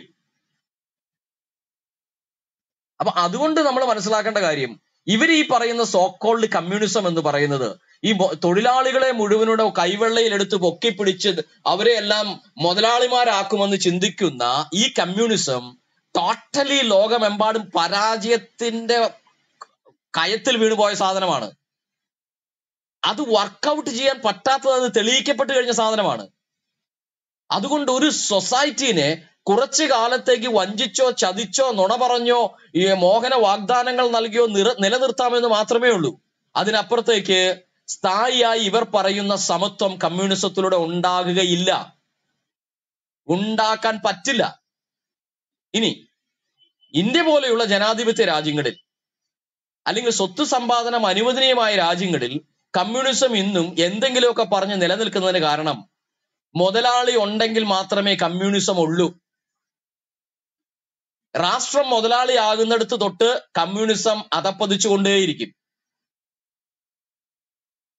പ്രൈവറ്റ് സെക്ടറുകളിൽ മുതലാളിത്തം നിലനിൽക്കുമ്പോൾ മാത്രമേ കമ്മ്യൂണിസത്തിന് ഓയിസ് ഉള്ളൂ എങ്കിൽ മാത്രമേ ഒരു സംഘത്തെ തൊഴിലാളിയായി നിർത്തിക്കൊണ്ട് ഇവർക്ക് ജിന്ദാബ വിളിക്കാനും ഇംഗ്ലാവ് വിളിക്കാനും കൊടിപൊക്കി കാണിക്കാനും ബഹളം ഉണ്ടാക്കാനും കല്ലെറിയാനും വണ്ടി തീ കത്തിക്കാനും എല്ലാം നടക്കത്തുള്ളൂ. എന്നാൽ ടോട്ടലി ഒരു രാജ്യം കമ്മ്യൂണിസത്തിന്റെ കീഴിലേക്ക് പോവുകയും ലെനിനിസമോ അല്ലെങ്കിൽ മാർക്സിസമോ ഒക്കെ ഇംപ്ലിമെന്റ് ചെയ്യപ്പെട്ട് കഴിഞ്ഞാൽ അവിടെ ഒരുത്തനും വോയിസ് ഉണ്ടാകില്ല. എന്താ ചൈനയിൽ നടക്കുന്നത്? ആരെങ്കിലും അറിയുന്നുണ്ടോ? നമുക്ക് കുറെ മൊബൈലും കിട്ടുന്നുണ്ട് കുറെ പാവയും കിട്ടുന്നുണ്ട്. അല്ലാണ്ട് അവിടെ എന്താ നടക്കുന്നത്? ഒരു ന്യൂസ് പോലും പുറത്തു വരില്ല. ഒരു ഇന്റർനെറ്റ് കവറേജ് ചൈനയ്ക്ക് വെളിയിലേക്ക് കിട്ടില്ല ചൈനക്കുള്ളിലെ കാര്യത്തിൽ. നോർത്ത് കൊറിയയിൽ എന്താണ് നടക്കുന്നത്? ഒരു മനുഷ്യൻ പുറത്തറിയില്ല. ഏറ്റവും ലാസ്റ്റ് എക്സാമ്പിൾ എങ്ങനെയാണ് ഈ കോവിഡ് വൈറസ് ചൈനയിൽ നിന്ന് പുറത്തു വന്നതെന്ന് കൃത്യമായ ഒരു ഒരു പഠനം പോലും ഇന്നുവരെ ഉണ്ടായിട്ടില്ല. ഒരു തെളിവ് ശേഷിച്ചിട്ടില്ല. ഒരു വിധത്തിലുമുള്ള ഇന്നത്തെ ലോകരാജ്യങ്ങളിൽ പെടുന്ന ഒരു രാജ്യവും ഇത് സംബന്ധിച്ച് കൃത്യമായ ഒരു അന്വേഷണം പോലും നടത്താൻ ചൈന അനുവദിച്ചിട്ടില്ല. മനസ്സിലായോ? ഇതാണ് ഇദ്ദേഹം മുന്നോട്ട് വയ്ക്കുന്ന തൊഴിലാളികളെ കൊള്ളയടിക്കാത്ത മോഷ്ടിക്കാത്ത അവരെ രാജാക്കന്മാരാക്കുന്ന ഈ വ്യവസ്ഥിതിയെങ്കിൽ ആ വ്യവസ്ഥിതിക്കുള്ളിലല്ല മിസ്റ്റർ സജി ചെറിയാൻ ഇന്നുള്ളത്. സജി ചെറിയാൻ നിൽക്കുന്നത് ഇന്ത്യൻ ഭരണഘടന നൽകുന്ന സ്വത്തവകാശത്തിനും ജനാധിപത്യത്തിനും മതേതരത്വത്തിന്റെയും ഉള്ളിൽ നിന്നുകൊണ്ട് ഇലക്ഷനിൽ നിന്ന് മത്സരിച്ചിട്ട് ഈ ഭരണഘടന നൽകുന്ന സ്വാതന്ത്ര്യ പ്രകാരം ഭരണഘടന തൊട്ട് സത്യം ചെയ്ത് മന്ത്രിയായിരിക്കുമ്പോൾ ഭരണഘടനയെയും അതിന്റെ ശില്പികളെയും രാജ്യത്തെയും നിന്ദിച്ചു പരിഹസിച്ച് അവഹസിച്ച് കൊടച്ചക്രമെന്നും കുന്തമെന്നും ഈ ഭരണഘടനയെ വിളിച്ചുവെങ്കിൽ അതിലെ ഏറ്റവും മൂല്യവത്തായ വ്യവസ്ഥിതി സെക്യുലറിസത്തെ സോഷ്യലിസത്തെ മതേതരത്വത്തെ അങ്ങനെ അപകസിച്ചുവെങ്കിൽ ഇദ്ദേഹം ആ സ്ഥാനത്തിരിക്കാൻ ഒരു നിമിഷം യോഗ്യനല്ല എന്ന് പറയുന്നതിൽ എനിക്ക് ഒരു മടിയില്ല. ഈ കാരണം കൊണ്ട് എന്നെ തൂക്കി കൊന്നാലും കുഴപ്പമില്ല. അതുകൊണ്ട് ഞാൻ പലപ്പോഴും ഞാൻ ഒരു സെന്റൻസോടെ പറഞ്ഞു നിർത്തുകയാണ്. പലപ്പോഴും ഞാൻ എന്നോട് പേഴ്സണലി സംസാരിച്ചിട്ടുള്ള ആളുകളോട് ഞാൻ പറഞ്ഞിട്ടുണ്ട്. ഇന്ത്യൻ ജനാധിപത്യത്തിൽ വരേണ്ടുന്ന ഒരു വലിയ മാറ്റം എന്ന് പറയുന്നത് ഒരു ഒരു ഇലക്ഷൻ അഞ്ചു വർഷം മുൻ ഒരാളെ തെരഞ്ഞെടുത്ത് വിടുന്നു. ഇനി അദ്ദേഹത്തിന്റെ രീതികൾ ഇഷ്ടപ്പെട്ടാലും ഭരണം ഇഷ്ടപ്പെട്ടാലും ഒന്നും ജനാധിപ ഇന്ത്യൻ ജനാധിപത്യ വ്യവസ്ഥയ്ക്കുള്ളിൽ നമുക്ക് പ്രതികരിക്കാൻ ഒരു മാർഗവുമില്ല അഞ്ചു വർഷം സഹിക്കാൻ മാത്രമേ വ്യവസ്ഥയുള്ളൂ. ഇതാണ് നമുക്ക് ഇപ്പോൾ നിലവിലുള്ള നിലവിലുള്ള ഭരണഘടനയിലുള്ളത്. അവിടെ ഒരു അമെന്റ്മെന്റ് ആവശ്യമാണ്. ജനപ്രതിനിധി ജനങ്ങൾക്കോ രാജ്യത്തിനോ കൊള്ളരുതായ്മ ചെയ്ത് മുന്നോട്ട് വരുന്ന പക്ഷം അദ്ദേഹം ആ സ്ഥാനത്തിരിക്കാൻ യോഗ്യനാണോ എന്നുള്ളത് അതേ കോൺസ്റ്റിറ്റ്യുവൻസിയിൽ അതേ സ്ഥലത്ത് ജനങ്ങളുടെ ഹിതപരിശോധന നടത്ത ഒരു ഇടക്കാല ഹിതപരിശോധനയ്ക്കുള്ള അവസരം കൂടെ കൊടുക്കേണ്ടതാണ് ഇത്തരം സംഭവ സംഭവങ്ങൾ നടക്കുമ്പോൾ. അങ്ങനെയുണ്ടെങ്കിൽ ഇത്തരം നേതാക്കന്മാർ വാ തുറക്കുമ്പോൾ ഒന്ന് സൂക്ഷിക്കും. ഇത്തരം വിവരം കെട്ട രാജ്യദ്രോഹപരമായ അപഹാസ്യമായ സ്റ്റേറ്റ്മെന്റ് വരുമ്പോൾ ഇദ്ദേഹം ഇരിക്കുന്ന ജയിച്ച കോൺസ്റ്റിറ്റ്യുവൻസിയിലെ ജനതയ്ക്ക് ഇദ്ദേഹം ഇനി ആ സ്ഥാനത്തിരിക്കാൻ യോഗ്യനാണോ എന്ന് അതേ ജനങ്ങളെ കൊണ്ട് ഒരിക്കൽ കൂടെ ഹിതപരിശോധന നടത്തും. ഇടക്കാല ഹിതപരിശോധന എന്നൊരു അമെന്റ്മെന്റും കൂടെ ഭരണഘടനയിൽ വന്നാൽ ഏറ്റവും ഉത്തമമായിരിക്കും. ഞാൻ പലപ്പോഴും ഇത് പറഞ്ഞിട്ടുള്ളതാണ്. ഞാൻ ആഗ്രഹിക്കുന്ന ഒരു കാര്യമാണ്. ഈ അഞ്ചു വർഷം കൈയിട്ട് വാരാനും ഈ ഇത്തരം വിവരക്കേട് പറയാനും തോന്നിവാസം വായി തോന്നുന്ന എല്ലാം വിളിച്ചു പറയാനും ഇവർക്ക് ധൈര്യം കിട്ടുന്നതിന്റെ കാരണം അങ്ങനെ ഒരു ഹിതപരിശോധന ഇല്ലാത്തത് കൊണ്ടാണ് ഇവരെന്ത് ചെയ്യുന്നു? മൂന്നര വർഷം കഴിയുമ്പോൾ തൊട്ട് പിന്നെ അടുത്ത പരിപാടി ആരംഭിക്കുകയാണ്. നെക്സ്റ്റ് ഇലക്ഷന് വേണ്ടിയിട്ടുള്ള പരിപാടികൾ കുറെ കാര്യങ്ങൾ വാരിക്കോരി കൊടുക്കുന്നു പുതിയ പുതിയ ഇതുകൾ ചെയ്യുന്നു എന്തെങ്കിലും കേസ് ഉണ്ടാക്കുന്നു എന്തെങ്കിലുമൊക്കെ പ്രശ്നങ്ങൾ ഉണ്ടാക്കുന്നു. ആ ഇലക്ഷന് തൊട്ട് മുമ്പ് വരെ അതിങ്ങനെ ഹീപ്പ് ചെയ്ത് നിർത്തുന്നു ഇ- ഇത്തരം ഇഷ്യൂസ് ആരുടെ പേരിലുണ്ടായാലും അവർക്കെതിരെ അതാത് സ്ഥലങ്ങളിൽ ഹിതപരിശോധനയ്ക്കുള്ള അമെന്റ്മെന്റ് വന്നാൽ ഇദ്ദേഹത്തെ പോലെയുള്ളവര് ഇങ്ങനെയുള്ള ഏത് മന്ത്രിമാരാണെങ്കിലും സൂക്ഷിക്കുമെന്നുള്ള കാര്യത്തിൽ സംശയമില്ല. ഞാൻ എന്റെ വാക്കുകൾ അവസാനിപ്പിക്കുകയാണ്. ഇത് ഞാൻ ഇത്രയും പറഞ്ഞത് അല്പം കൂടുതൽ സമയം നൽകിയതിന് നന്ദിയുണ്ട്. ദൈവം എല്ലാവരും സഹായിക്കട്ടെ. Okay thank you Shijimon. ബ്രദറെ നമുക്ക് ബാറൂസിലേക്ക് പോകാം. അതിനു മുമ്പായിട്ട് വളരെ നല്ലൊരു നിരീക്ഷണമാണ് നമ്മുടെ ഷിജുമോൻ ഇവിടെ നടത്തിയത്. വളരെ ഭംഗിയായി വളരെ മനോഹരമായ ഒരു നിരീക്ഷണം. ഒരുപാട് കാര്യങ്ങൾ ചിന്തിക്കാനും പറ്റുന്ന നിരീക്ഷണം. മാത്രമല്ല മുമ്പ് സംസാരിച്ചവരൊക്കെ തന്നെ ഈ വിഷയമായിട്ട് കേന്ദ്രീകരിച്ചുകൊണ്ട് ഇന്ത്യൻ ഭരണഘടനയെയും നമ്മുടെ ജനാധിപത്യത്തെയൊക്കെ ഉൾച്ചേർത്തുകൊണ്ടുള്ളതായ കൊണ്ടുള്ളതായ പരസ്പരം ബന്ധിപ്പിച്ചുകൊണ്ട് ഇന്ത്യൻ പൗരൻ ഇവിടെ എങ്ങനെ ജീവിക്കണം ജീവിക്കുന്ന അതിന്റെ മാർഗം എന്താണ് അതിനുവേണ്ടി ഭരണഘടന എന്താണ് ചെയ്തു കൊടുക്കുന്നത് തുടങ്ങിയ കാര്യങ്ങളൊക്കെ ഇവിടെ കൃത്യമായി മുമ്പ് സംസാരിച്ചവരൊക്കെ സംസാരിച്ചു. തികച്ചും ക്രിയാത്മകമായ ആരോഗ്യപരമായ ചർച്ചയാണ് നമ്മൾ നയിച്ചുകൊണ്ട് പോണത്. ഞാനിതുകൂടെ പറയുന്നത് ക്രൈസ്തവരായ മക്കളെ നമ്മളെ സംബന്ധിച്ച് നമുക്ക് സമൂഹമായിട്ട് നല്ലൊരു ബന്ധം ഉണ്ടായിരിക്കണം മുൻകാലങ്ങളെക്കാൾ കൂടുതലായിട്ട് സമൂഹത്തിൽ ഇഴുകിച്ചേർന്ന് സമൂഹത്തിൽ നടക്കുന്ന ഓരോ ചലനങ്ങളെയും തിരിച്ചറിയുവാൻ നമുക്ക് കഴിയണം. എങ്കിൽ മാത്രമേ നമുക്ക് അതിനോട് പ്രതികരിക്കാനായിട്ട് കഴിയത്തുള്ളൂ. അപ്പൊ ഇത്തരത്തിലുള്ള ആ ചർച്ച കൊണ്ട് നമ്മൾ ഉദ്ദേശിക്കുന്നത് അങ്ങനെയാണ്. നമ്മുടെ സമൂഹത്തിന് ചുറ്റുപാട് നടക്കുന്ന അതിപ്പോ കേരളത്തിലായാലും കേരളത്തിന് പുറത്തായാലും ലോകത്തെവിടെയാണെങ്കിൽ പോലും പ്രത്യേകിച്ച് ഇന്നത്തെ കാലത്ത് വിജ്ഞാനം വിരൽത്തുമ്പിലാണ്. നമുക്ക് വിജ്ഞാനം നേടാനായിട്ട് വലിയ ബുദ്ധിമുട്ടൊന്നുമില്ല. അതുകൊണ്ട് എല്ലാ കാര്യങ്ങളിലും നമ്മൾ കൃത്യമായിട്ട് അറിവുള്ളവരായിരിക്കണം. ഞാൻ ഈ സമയത്ത് നമ്മുടെ കർത്താവ് തന്റെ ശിഷ്യന്മാരോട് ചില ചോദി ചില ചോദ്യങ്ങൾ ഞാൻ ഓർത്തു പോവാണ്. യേശു ഒരിക്കലെ ഈ ഫിലിപ്പോസിന്റെ കൈസറിൽ ഫിലിപ്പിന്റെ കൈസറിൽ എത്തിയ യേശു തന്റെ ശിഷ്യന്മാരോട് ചോദിച്ച ഒരു ചോദ്യമുണ്ട്. ജനങ്ങൾ മനുഷ്യപുത്രനെ എന്നെ കുറിച്ച് എന്താണ് പറയുന്നതെന്ന് ചോദിച്ചു. ഉടനെ ശിഷ്യന്മാർ പറഞ്ഞതായ ഒരു മറുപടി ഉണ്ട് ചിലർ യോഹന്നാൻ എന്നും മറ്റു ചിലർ ഏലിയാവെന്നും വേറെ ചിലർ ഇരമ്യാവോ പ്രവാചകന്മാർ ഒരുത്തരോ എന്നും പറയുന്നു. കേട്ടോ? അപ്പൊ ആ ശിഷ്യന്മാർക്ക് ആ കൈസരിലുള്ളതായ ആ മൂന്ന് കൂട്ടം ജനങ്ങളുമായിട്ട് നല്ല ബന്ധമായിരുന്നു. കാരണം ചിലർ പറയുന്നത് കർത്താവെ നീ യോഹന്നാൻ സ്നാപകനാണ്. മറ്റു ചിലർ പറയുന്നത് ഏലിയാവാണ്. മൂന്നാമതൊരു കൂട്ടർ പറയുന്നത് നീ ഇരമ്യാവോ പ്രവാചകന്മാർ ഒരുത്തനാവും അപ്പൊ ആ സമൂഹമായിട്ട് നല്ല അഭേദ്യമായ ഒരു ബന്ധം അവരുടെ ഇടയിലെ ചലനങ്ങൾ പോലും നിരീക്ഷിച്ചുകൊണ്ട് ആ ശിഷ്യന്മാർ ജീവിച്ചു വന്ന ആ പ്രസ്താവനയിൽ കൃത്യമായിട്ട് നമുക്ക് മനസ്സിലാക്കാനായിട്ട് കഴിയുന്നുണ്ട്. അതുപോലെ തന്നെ ഈ പൊതുസമൂഹത്തിൽ നടക്കുന്നതായ കാര്യങ്ങളൊക്കെ തന്നെ നിരീക്ഷിക്കുകയും അതിനോട് നമ്മൾ ക്രിയാത്മകമായി പ്രതികരിക്കുകയും അത് ആരോഗ്യപരമായ ചർച്ചയിലേക്ക് കൊണ്ടുവരികയും അതിലൂടെ നിരവധി നിരവധി കാര്യങ്ങൾ നമുക്ക് മനസ്സിലാക്കുവാൻ സഭയുടെ വളർച്ചയ്ക്ക് ഉന്നമനത്തിനും വേണ്ടി പ്രവർത്തിക്കുവാനും കഴിയും എന്നതിനകത്ത് രണ്ട് പക്ഷമില്ല ഇവിടെ ഞാൻ വീണ്ടും നമ്മുടെ സജി ചെറിയാന്റെ ആ പ്രസ്താവന മതേതരത്വവും ജനാധിപത്യവും കുന്തം കുടച്ചക്രമാവെന്ന് പറഞ്ഞതായ ആ പ്രസ്താവന. അത് ആ പ്രസ്താവനയോട് തികച്ചും എതിരായിട്ട് നിൽക്കുന്ന അല്ലെങ്കിൽ ആ പ്രസ്താവന അദ്ദേഹം പറഞ്ഞതായ ആ മതേതരത്വത്തെയും ജനാധിപത്യത്തെയും ഉൾക്കൊള്ളാതെ അതിനോട് മുഖം തിരിഞ്ഞു നിൽക്കുന്ന അവയെ മുച്ചൂടി എതിർക്കുന്ന ഒരു സമൂഹമേ ഇവിടെയുള്ളൂ. അത് ഇസ്ലാമിസമാണ്. ഞാനതിന്റെ വിഷയാവതരണത്തിന്റെ പ്രാരംഭത്തിൽ ഞാൻ പറഞ്ഞു. അവരുടെ സ്റ്റേറ്റ്മെന്റ് ഞാനിവിടെ പലതും വായിച്ചു. അവർ ഇന്ത്യൻ ഭരണഘടനയെ എതിർക്കുന്നതും ഇന്ത്യൻ ഭരണഘടനയുടെ ശില്പിയോട് എതിർപ്പ് പ്രകടിപ്പിക്കുന്നതും ഇന്ത്യൻ പട്ടാളക്കാരെ കാട്ടുപട്ടാളം എന്ന് വിളിച്ചതൊക്കെ ഞാനിവിടെ സൂചിപ്പിക്കുകയുണ്ടായി. അപ്പൊ ഇദ്ദേഹത്തിന്റെ ഈ സ്റ്റേറ്റ്മെന്റും ഈ ഇസ്ലാമിസ്റ്റുടെ ജിഹാദികളുടെ ഇതും കൂടെ എന്തുകൊണ്ട് പരസ്പരം പൂരകമായി വരുന്നു? അന്തർധാര അവിടെ എവിടെയോ ഉണ്ടെന്നുള്ളതായ ഒരു ധാരണ ഞാൻ പ്രാരംഭത്തിൽ പറയുകയുണ്ടായി. അവിടെയാണ് ഒരു വലിയ പ്രശ്നം എന്ന് പറയുന്നത്. കാരണം ഇവിടുത്തെ എൽ ഡി എഫ് ഗവൺമെന്റിനെ സംബന്ധിച്ച് സി പി എമ്മിന്റെ നേതൃത്വത്തിലുള്ള ഈ ഗവൺമെന്റ് നമുക്ക് ആവശ്യമാണ് നമ്മുടെ കേരളത്തിന്റെ സാഹചര്യം മാത്രമല്ല അവരുടെ കാഴ്ചപ്പാടൊക്കെ നല്ലതാണ്. പഴയ കാലങ്ങളിലൊക്കെ അവർക്ക് അവർ സമൂഹത്തിന് വേണ്ടിയൊക്കെ നല്ല കാര്യങ്ങളൊക്കെ ചെയ്തിട്ടുണ്ട്. ജനങ്ങൾക്ക് വേണ്ടി നിൽക്കുന്ന ഒരു രാഷ്ട്രീയ പാർട്ടിക്കാരാണ് ഇടതുപക്ഷ ജനാധിപത്യ മുന്നണി എന്നുള്ള ആ കീഴ്വഴക്കത്തിൽ നിൽക്കുകയാണെങ്കിൽ അവർ തീർച്ചയായിട്ടും ഇവിടെ നശിക്കരുത്. ഇവിടെ ഉണ്ടാകണം. പക്ഷേ അവരുടെ ചില ചെയ്തികളെയാണ് നമ്മൾ ചോദ്യം ചെയ്യുന്നത്. ഇനി അവരുടെ സ്ഥാനത്ത് യു ഡി എഫ് വന്നാലും മറ്റ് ബി ജെ പി വന്നാലും എൻ ഡി എ വന്നാലും ആര് വന്നാലും നമ്മുടെ ഇടയിൽ നടക്കുന്നതായ ജനാധിപത്യ വിരുദ്ധമായ പൊതുസമൂഹത്തെ ബാധിക്കുന്ന വിഷയങ്ങളെ നമ്മൾ ചോദ്യം ചെയ്യുകയും വിമർശിക്കുകയും ചെയ്യും. അത് തീർച്ചയായിട്ടും നമ്മൾ അങ്ങനെ ചെയ്തുകൊണ്ടേ ഇരിക്കുകയും വേണം ആ, തുടർന്ന് നമ്മുടെ ചർച്ച പുരോഗമിക്കുകയാണ്. അതുകൊണ്ട് ഈ ഗവൺമെന്റ് അല്ലെങ്കിൽ ഈ രാഷ്ട്രീയ പ്രസ്ഥാനക്കാർ തികച്ചും ജനാധിപത്യപരമായി ജനാധിപത്യത്തിന്റെ മൂല്യം ഉൾക്കൊണ്ടുകൊണ്ട് ജിഹാദികളുടെ കക്ഷത്തിലേക്ക് പോകാതെ സ്വതന്ത്രമായി നിന്നുകൊണ്ട് അവർ ജനത്തെ സേവിക്കണം എന്നാണ് ഞങ്ങൾ ആഗ്രഹിക്കുന്നത്. തീർച്ചയായിട്ടും സജി ചെറിയാൻ മന്ത്രിയുടെ പ്രസ്താവന ഞാൻ ഇവരുമായി ഇവരുടെ പ്രസ്താവനയായിട്ട് കൂട്ടി വായിക്കുമ്പോൾ എനിക്ക് എന്തോ ഒരു ഭയം പോലെ തോന്നുന്നു. എന്തുകൊണ്ട് ഇങ്ങനെ സംഭവിക്കുന്നു എന്നുള്ളതാണ് ഒരു ചിന്ത. അങ്ങനെ ഒരിക്കലും സംഭവിക്കാതിരിക്കട്ടെ. ജനാധിപത്യം മതേതരത്വം എന്ന് പറയുന്ന കമ്മ്യൂണിസ്റ്റുകാരുടെ ജീവ ജീവശ്വാസമല്ലേ അവരതിനു വേണ്ടിയല്ലേ ഇവിടെ പോരാടിയത്. എന്തുകൊണ്ട് അവർ ഈ തരത്തിലേക്ക് ചിന്തിക്കുന്നു? ജിഹാദികളെ പോലെ ചിന്തിക്കുന്നു എന്നുള്ളതാണ് നമ്മളെ ഭയപ്പെടുത്തുന്ന ആകുലപ്പെടുത്തുന്നതായ ഒരു വിഷയം. അങ്ങനെ ഒരിക്കലും സംഭവിക്കാതിരിക്കട്ടെ എന്നാണ് ഞങ്ങളുടെ പ്രാർത്ഥനയും ഞങ്ങളുടെ ആഗ്രഹം ഓക്കെ കർത്താവ് അനുഗ്രഹിക്കട്ടെ. ഇനി നമുക്ക് ചർച്ചയിലേക്ക് പോകാം. ആ നമ്മുടെ ടോം ജോസ് സാർ അല്ലേ അടുത്തത്? അദ്ദേഹത്തിന് ആ നമ്മുടെ ബാറൂസ് ബാറൂസ് ബാറൂസ് അദ്ദേഹം ഹലോ ഹലോ ഹലോ? ആ അല്ല അല്ല ആ ഓക്കെ. സാറേ ഒരു മിനിറ്റ് ഒരു മിനിറ്റ് ഒരു മിനിറ്റ്. നമ്മുടെ ബാറൂസ് വിളിക്കുക അദ്ദേഹം നേരത്തെ തൊട്ട് ഇവിടെയുണ്ട് ബാറൂസ് സംസാരിച്ചിട്ടതിന് ശേഷം ഞാൻ ഇച്ചിരി സമയം എടുക്കും. അതുകൊണ്ട് ടോം ജോസ് സാർ സംസാരിച്ചിട്ട് സംസാരിച്ചോളം പാസ്റ്ററെ. ഞാൻ ഇച്ചിരി സമയം എടുക്കും. പിന്നെ ചാക്കോ പാസ്റ്റർ എനിക്ക് ഒരു ഒരു മിനിറ്റ് ടോം ജോസ് സാറേ. ചാക്കോ പാസ്റ്റർ ചാക്കോ പാസ്റ്റർ വിഷയാവതരണത്തിൽ ഞാൻ കേട്ടില്ലായിരുന്നു. ചാക്കോ പാസ്റ്റർ വിഷയാവതരണത്തിൽ ഈ ഫത്തയെക്കുറിച്ച് എല്ലാം പറഞ്ഞായിരുന്നു? കാരണം ഞാൻ അത് അതൊന്ന് പറയാൻ വേണ്ടിയിട്ടാണ് ഞാൻ. അത് പറഞ്ഞായിരുന്നോ?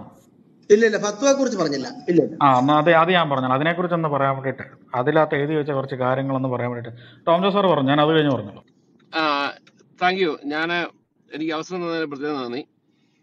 അതായത് ഫണ്ടമെന്റലി ഒരു പ്രശ്നം എന്തുകൊണ്ടാണ് ഒരു കോൺസ്റ്റിറ്റ്യൂഷൻ ആർക്ക് വേണ്ടിയാണ് ലോകത്ത് ഉണ്ടായിട്ടുള്ളത് അല്ലെങ്കിൽ കോൺസ്റ്റിറ്റ്യൂഷൻ ആരെയാ ആർക്ക് വേണ്ടിയാണ് രൂപപ്പെട്ടുള്ളതെന്ന് നമ്മൾ പരിശോധിച്ചാൽ സമൂഹത്തിന്റെ ഏറ്റവും അടിസ്ഥാന വർഗങ്ങൾക്ക് വേണ്ടിയാണ് എഴുതപ്പെട്ട ഒരു ഭരണഘടന എന്ന് പറയുന്ന സാധനം ഉണ്ടാകേണ്ടത്. അല്ലെ? ഉണ്ടായിട്ടുള്ളത്. ഇപ്പൊ മാഗ്ന കാർട്ടയാണ് ഇതിന്റെ ഒരു അടിസ്ഥാന ശിലയായിട്ട് നമ്മൾ കാണുന്നത്.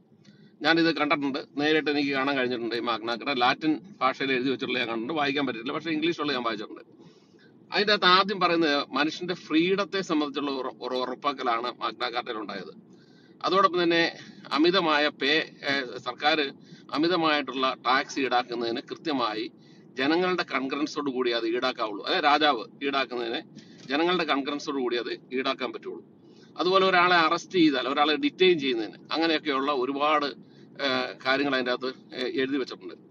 ഇത് ആർക്ക് വേണ്ടിയാണെന്നാണ് നമ്മൾ പരിശോധിക്കേണ്ടത്. കാരണം ഈ രാജാവ് എന്ന് പറയുന്നത് ഞാൻ ദൈവത്തിന്റെ breathing image image of God എന്നാണ് പറഞ്ഞത്. അപ്പം ദൈവത്തിന്റെ ശ്വസിക്കുന്ന രൂപമാണ് രാജാവ്.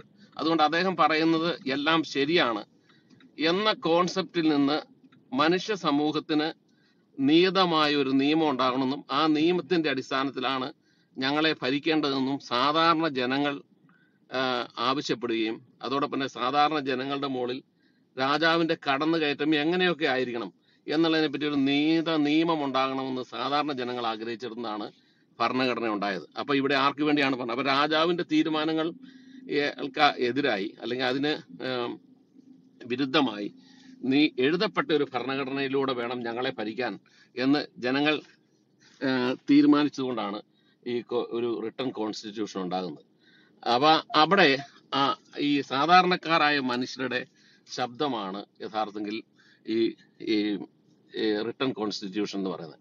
അപ്പൊ ഇവിടെ ഒരു ഭരണകൂടം അല്ലെ ഒരു ഒരു ഒരു ഭരണം സാധാരണക്കാർക്ക് വേണ്ടിയും കൂടി ഉണ്ടാകണമെങ്കിൽ ആദ്യം തന്നെ വേണ്ട ഒരു സാധനമാണ് കോൺസ്റ്റിറ്റ്യൂഷൻ എന്ന് പറയുന്നത്. അപ്പൊ അതിനെയാണ് ഈ ഈ സജി ചെറിയാൻ നിഷേധിച്ചിട്ടുള്ളത്. ഇനി അദ്ദേഹം ഈ സത്യപ്രതിജ്ഞ ചെയ്യുമ്പോൾ കൃത്യമായി പറയുന്ന ഒരാളുണ്ട്. I will be protect defence constitution and law എന്ന്. അതായത് ഞാൻ ഈ പറയുന്ന ഈ പറയുന്ന രാഷ്ട്രത്തെ ഡിഫെൻഡ് ചെയ്തോളാമെന്നും കോൺസ്റ്റിറ്റ്യൂഷനെ ഡിഫെൻഡ് ചെയ്തോളാമെന്നും നിയമങ്ങളെ ഡിഫെൻഡ് ചെയ്തോളാമെന്നും പറഞ്ഞുകൊണ്ടാണ് അദ്ദേഹം സത്യപ്രതിജ്ഞ ചെയ്യുന്നത്. ഇത് ക്ലിയർ ആയിട്ടുള്ള സത്യപ്രതിജ്ഞാ ലംഘനമാണ് അദ്ദേഹം നടത്തിയിട്ടുള്ളത്. ഇനി അദ്ദേഹത്തിന്റെ പാർട്ടി ഈ ഭരണഘടനയെ സംബന്ധിച്ച് സ്റ്റേറ്റിനെ സംബന്ധിച്ചുള്ള അവരുടെ സങ്കല്പങ്ങൾ എന്താണെന്ന് നമ്മൾ മനസ്സിലാക്കണം. അതായത് പാർലമെന്റ് എന്ന് പറഞ്ഞ പന്നിക്കൂടാണെന്നാണ് ലെനിൻ പറഞ്ഞിട്ടുള്ളത്. അതുപോലെ തന്നെ ഇ എം ശങ്കരൻ നമ്പൂരിപ്പാട് പറഞ്ഞിട്ടുള്ളത്. തൊഴിലാളി വർഗത്തിന് രാഷ്ട്ര അതിർത്തികളില്ല. രാഷ്ട്രവും കോൺസ്റ്റിറ്റ്യൂഷനും എന്നൊക്കെ പറയുന്നത് അവർക്ക് ഇല്ല. കാരണം വെച്ചാൽ അവർക്ക് രാഷ്ട്ര അതിർത്തികളില്ല. അവർക്ക് തൊഴിലാളി ലോകത്തെ തൊഴിലാളി വർഗങ്ങളുടെ തൊഴിലാളി വർഗങ്ങളുടെ ഒരു ഏകീകരണമാണ് അവരെ സംബന്ധിച്ചിടത്തോളം പ്രധാന കാര്യം എന്ന് പറയുന്നത്.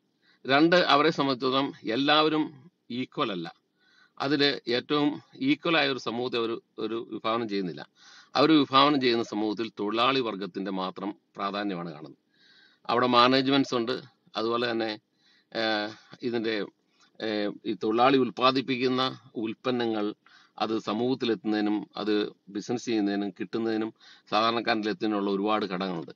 ആ ഘടകങ്ങളെ ഒന്നും അവർ കാണുന്നില്ല. അവർ തൊഴിലാളി വർഗത്തിന്റെ അപ്രമാദിത്വമുള്ള ഒരു സർക്കാർ. അപ്പോൾ അവിടെ തൊഴിലാളി വർഗ സർവാധിത്യം എന്ന് പറയുമ്പോൾ അടിച്ചമർത്തപ്പെടുന്ന ആരോഗ്യമുണ്ട് ആ അടിച്ചമർത്തപ്പെടുന്ന ഒരു വിഭാഗം. അതായത് അവർ ശരിക്കും പറഞ്ഞാൽ ഒരു കോൺകറിങ് ആണ് അവരുടെ സ്വപ്നം എന്ന് പറയുന്നത്. അപ്പം അത്തരം സങ്കല്പങ്ങളാണ് അവർക്കുള്ളത്.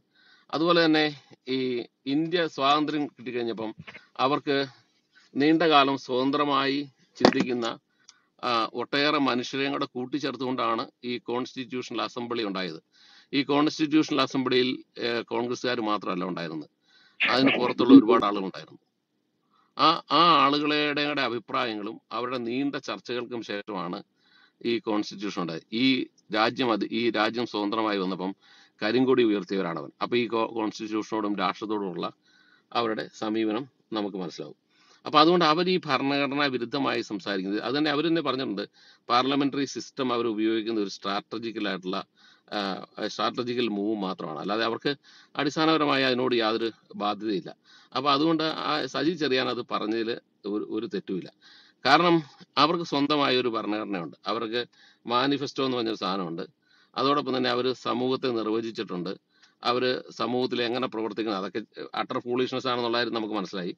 എന്നാലും അവർക്ക് അതെല്ലാം ഉണ്ട്. അവർക്ക് സാമ്പത്തിക ശാസ്ത്രമുണ്ട്. അതുപോലെ അവരുടെ സോഷ്യൽ സിസ്റ്റം ഉണ്ട്. അങ്ങനെ പലതരത്തിലുള്ള സാധനങ്ങൾ പല പല രീതിയിൽ അവരുടെ കയ്യിലുണ്ട്. അത് വെച്ചുകൊണ്ടുള്ള ഒരു ഒരു ഒരു സമൂഹത്തെയാണ് അവർ സ്വപ്നം കാണുന്നത്. അതുകൊണ്ട് തന്നെ അവർക്ക് ഈ പറയുന്ന ജനാധിപത്യത്തോടും അതോടൊപ്പം തന്നെ ഈ പറയുന്ന ഭരണഘടനയോടുമൊക്കെ പരമപുച്ഛമാണ് ഇനി അവരുടെ ഭരണഘടന നടപ്പിലാക്കിയ ഒരു സ്ഥലമായിരുന്നു സോവിയറ്റ് യൂണിയൻ. ഈ സോവിയറ്റ് യൂണിയനിൽ മിഗായൽ ഗോർബച്ചേവ് എന്ന് പറഞ്ഞ ഒരാൾ അവിടെ പ്രസിഡന്റ് ആയിട്ട് വന്നു കഴിഞ്ഞപ്പം അദ്ദേഹം ആദ്യം പറഞ്ഞ വാക്കെന്ന് പറഞ്ഞാൽ ഞങ്ങൾ അതായത് റോമിലാണ് സംസാരിച്ചത്. സത്യത്തിന് മേലുള്ള കുത്തക ഞങ്ങൾ അവസാനിപ്പിക്കുന്നുണ്ട്. സത്യത്തിന് മേലുള്ള കുത്തകയായിരുന്നു മൊത്തമായ കുത്തക അവരെടുത്തത് ഈ മതങ്ങളെ പോലെ തന്നെയാണ്. അത് മതം ആണല്ലോ സത്യത്തിന്റെ മൊത്തം കുത്തക ഏറ്റെടുത്തേക്കുന്നത് അത് ദൈവത്തിൽ നിന്ന് വരുന്നു. അതുപോലെ തന്നെ ദൈവത്തിന്റെ വാക്കുകൾ സത്യത്തിന്റെ അമൂർത്ത ഭാഗമാണ്. അത് മാറ്റാൻ പറ്റില്ല. അതിനുവേണ്ടി ആരെയും കൊല്ലാം. അതിനുവേണ്ടി ആരെയും തലവെട്ടാം. എന്നൊക്കെ പറഞ്ഞ പോലെ തന്നെയാണ് അവരും വിചാരിച്ചത്. അപ്പൊ ആ സത്യത്തിന്റെ മേലുള്ള കുത്തുക ഞങ്ങൾ അവസാനിപ്പിക്കുന്നു. ഞങ്ങൾക്കെതിരെ നിൽക്കുന്നവരും പറയുന്നതിൽ സത്യമുണ്ട് എന്ന് ഞങ്ങൾ മനസ്സിലാക്കുന്നു. അവരുടെ അഭിപ്രായങ്ങളും കൂടി ഞങ്ങൾ കേൾക്കും എന്ന് ഗോർബച്ചവാണ് ആദ്യമായി ലോകത്ത് പ്രഖ്യാപിച്ചത്. ഇനി ആ ഗോർബച്ചേവ് കൊണ്ടുവന്ന ഗ്ലാസ് നോസ്റ്റും അതുപോലെ തന്നെ ഗ്ലാസ് നോസ്റ്റും പെരിസ്ട്രോയിക്കയും. ഈ ഇതിന് രണ്ടിനെ ഉടച്ചു വാർക്കലും തുറന്ന സമീപനം എന്നാണ് അതിന്റെ അർത്ഥം എന്ന് പറഞ്ഞാൽ. പെരിസ്ട്രോയിക്ക എന്ന് പറഞ്ഞാൽ ഉടച്ചു വാർക്കൽ ഗ്ലാസ് നോ ഗ്ലാസ് നോസ് എന്ന് പറഞ്ഞാൽ തുറന്ന സമീപനം.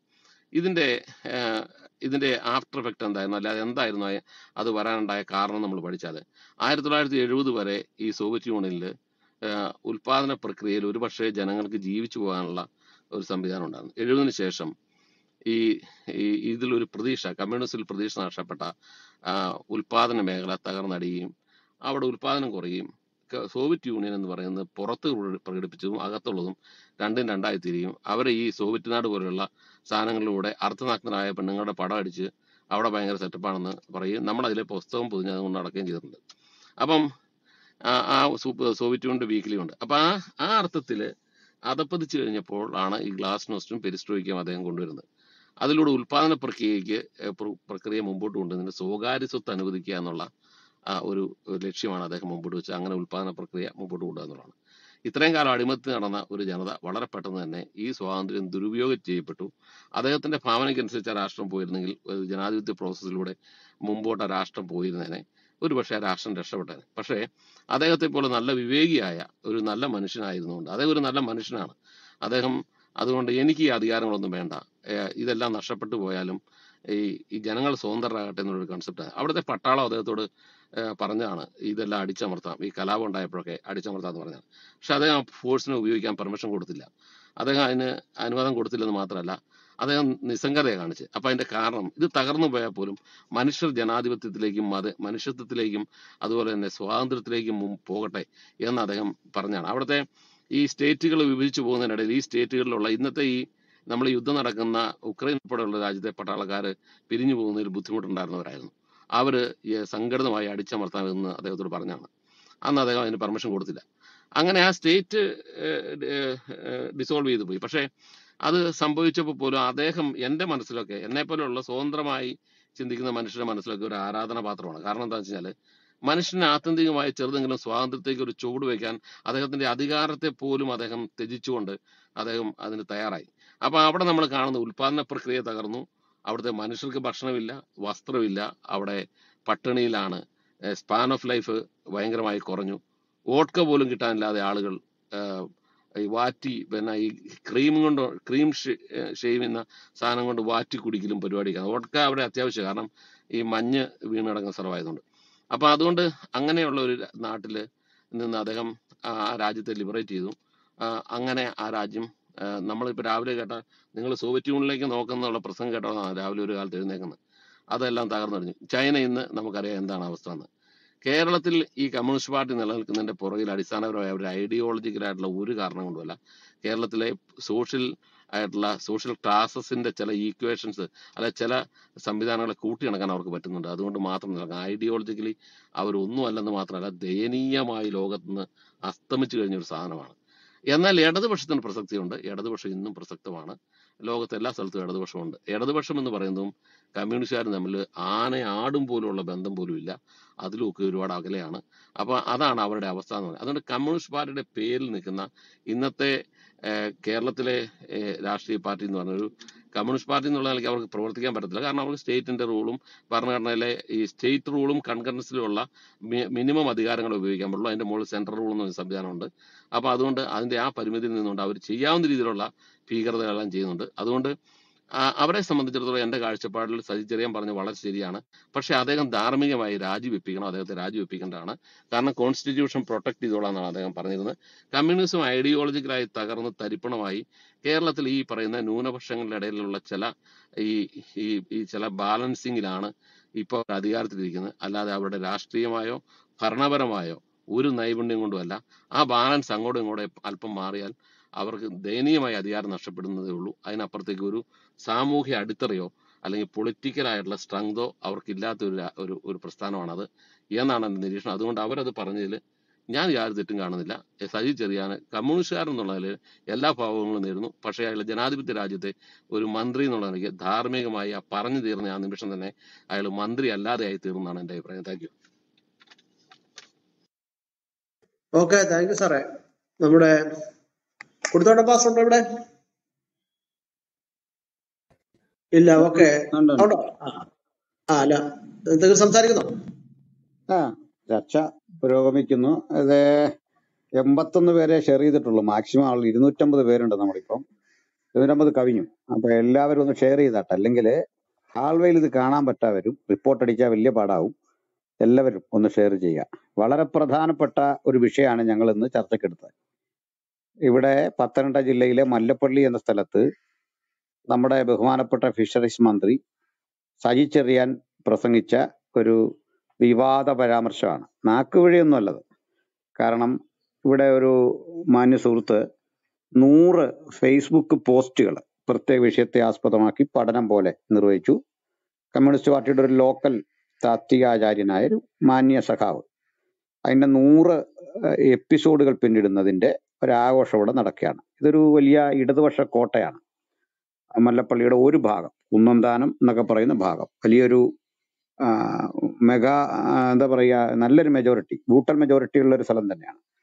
അപ്പോൾ അവിടെ നല്ല മാന്യന്മാരായ സഖാക്കൾ ഒക്കെ ഉള്ള സ്ഥലമാണ്. ധാരാളം പേരുള്ള പാർട്ടിക്കൂറൊക്കെ ഉള്ള നല്ല പ്രവർത്തന രീതി കാഴ്ചവെക്കുന്ന ആളുകളാണ്. ഞാൻ അവിടെ തന്നെയാണ് താമസിക്കുന്നത്. അപ്പോൾ ഇവിടെ എന്താണ് പറയുക സജി ചെറിയാൻ എന്ന മന്ത്രി ഇവിടെ കാട്ടിയത് പെട്ടെന്നുള്ള ഒരു വികാരാവേശ പ്രകടനമാണോ എന്നത് പാർട്ടിയുടെ അടുത്ത പ്രതികരണത്തെ ആശ്രയിച്ചേ നമുക്ക് തീരുമാനിക്കാൻ പറ്റുള്ളൂ. ഇത് പറഞ്ഞ പ്രധാന വിവാദം എന്ന് പറയുന്നത് ഒന്നാമത്തെ ഇതിനകത്തൊരു ധാർമ്മികതയുടെ പ്രശ്നമുണ്ട് ടോം ജോസ് സൂചിപ്പിച്ച പോലെ. ധാർമ്മികത എന്ന് പറയുന്നത് ഈ രാജ്യത്തിനൊരു എന്താ പറയുക പ്രവർത്തന രീതിയുണ്ട്. അത് ഭരണഘടനാധിഷ്ഠിതമാണ്. അതിലാണ് അതിനെ ആസ്പദമാക്കി ഭരണഘടനയോട് കൂറു പുലർത്തിക്കൊള്ളാം എന്നുള്ള സത്യപ്രതിജ്ഞയോ ദൃഢപ്രതിജ്ഞയോ എടുത്തുകൊണ്ടാണ് ഇവർ അധികാര സ്ഥാനങ്ങളിൽ എത്തുന്നത്. ഭരണഘടനാപരമായിട്ടേ ഒരാൾക്ക് ഇവിടെ പ്രവർത്തിക്കാൻ നോക്കുള്ളൂ ഭരണഘടനയെ വിമർശിക്കരുതെന്നൊന്നുമില്ല. പക്ഷെ ആ സ്ഥാനത്തിരുന്നു കൊണ്ട് ചെയ്യുമ്പോഴാണ് പ്രശ്നം.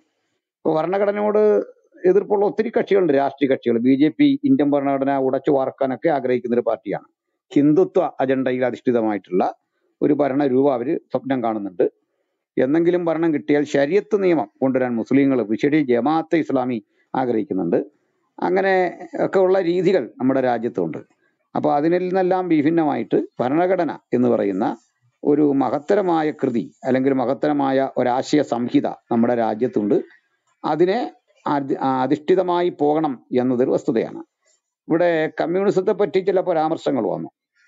അതിൽ ഒരു വിഷയം എന്ന് പറഞ്ഞാൽ ഈ തൊഴിലാളി മുതലാളി എന്നുള്ളൊരു വിഭജനത്തിൽ പലപ്പോഴും അതിന്റെ അണികൾക്ക് പോലും അറിയാത്തൊരു രഹസ്യം പതിയിരിപ്പുണ്ട്. അത് ഞാൻ കഴിഞ്ഞൊരു ചർച്ചയിൽ എന്റെ വക്കല ശിവദാസനെ കിട്ടിയായിരുന്നു സഖാവ്. കോലായിൽ വന്നിട്ട് പ്രശ്നം ഉണ്ടാക്കുന്നത്. പുള്ളി എനിക്ക് വളരെ സൗകര്യപ്രദമായി മറ്റൊരു ക്ലബിൽ കിട്ടി. കേരള ചാനലിലാന്ന് തോന്നുന്നു. വളരെ സൗകര്യമായിട്ട് കിട്ടി. ഞാൻ ശരിക്കിത് ബോധ്യപ്പെടുത്തിയാണ് വിട്ടത്. കാരണം കോലായി ചെന്നാൽ ഇവരെ ആളുകളുടെ ഒരു തെറിവിളിയായിരിക്കുമല്ലോ പക്ഷെ അന്ന് എന്റെ കയ്യിൽ കിട്ടിയ ആശാനെ. ശരിക്ക് പറഞ്ഞിട്ടുണ്ട്. കാരണം ഈ തൊഴിലാളി എന്ന് പറയുമ്പം മനുഷ്യന്റെ മനസ്സിലേക്ക് വരുന്ന സങ്കല്പം അല്ല കമ്മ്യൂണിസ്റ്റ് നിർവചനത്തിലുള്ളത്. എന്ന് വെച്ചാൽ ആ, മത്സ്യത്തൊഴിലാളി. ആക്ച്വലി മത്സ്യത്തൊഴിലാളി തൊഴിലാളി അല്ല അല്ലെങ്കിൽ കർഷക തൊഴിലാളി തൊഴിലാളി അല്ല അതല്ലെങ്കിൽ നമ്മുടെ മുമ്പിൽ വിറക് വെട്ടുന്ന അല്ലെ തടിപ്പണി ചെയ്യുന്ന ചായക്കടയിൽ ജോലി ചെയ്യുന്ന അധ്വാനിക്കുന്ന ശരിക്ക് ഈ മാൻ പവർ കൊണ്ട് തന്നെ അങ്ങനെ തന്നെ കുടുംബം പുലർത്തുന്ന ആളുകളാണ് ഈ കമ്മ്യൂണിസ്റ്റ് പാർട്ടിയിലെ അംഗങ്ങളിൽ അധികവും. പക്ഷെ അവരറിയാത്തൊരു കാര്യമുണ്ട്. അവർ പാർട്ടിയുടെ വെറും പശകലക്കികളും പോസ്റ്റോട്ടിക്കൽ തൊഴിലാളികളും മാത്രമാണ്.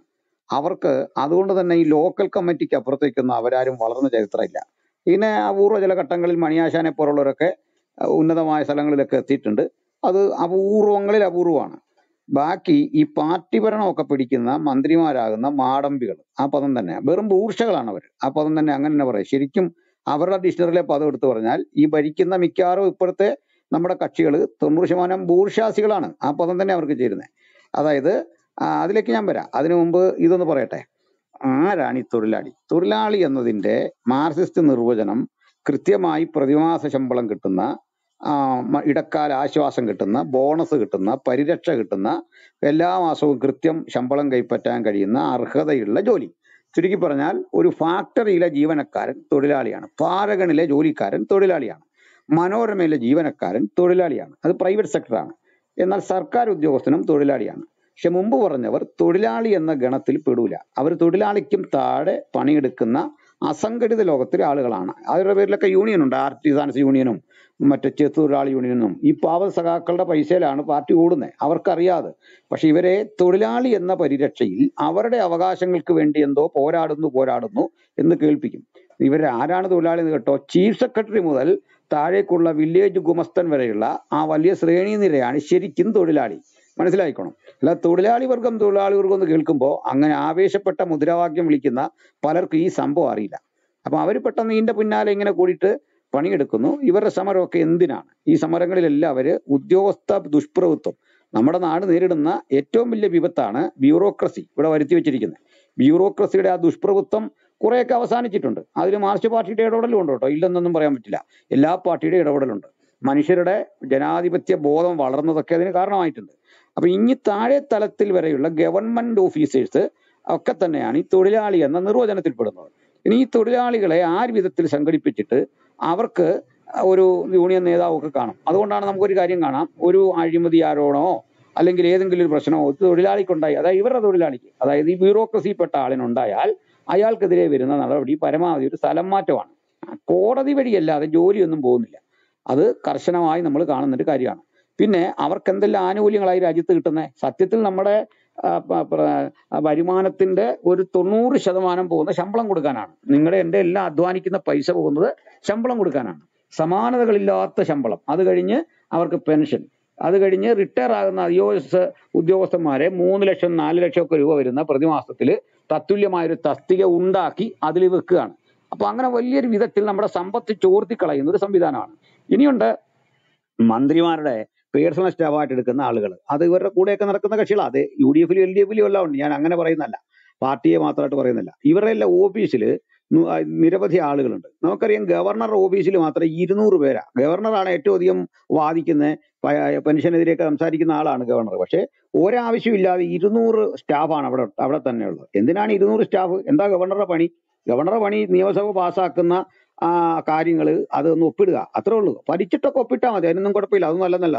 അവിടെ ഒരു ഓഫീസൊക്കെ ഉണ്ടാകട്ടെ അദ്ദേഹത്തിന് സെക്രട്ടറി ഉണ്ടാകട്ടെ ഇത്രയും എന്തിനാണെന്ന് ഇയാൾ? ഇനി അടുത്തൊരു തസ്തികയാണ് ഒരാവശ്യമില്ലാത്ത തന്നെ ചീഫ് വിപ്പ്.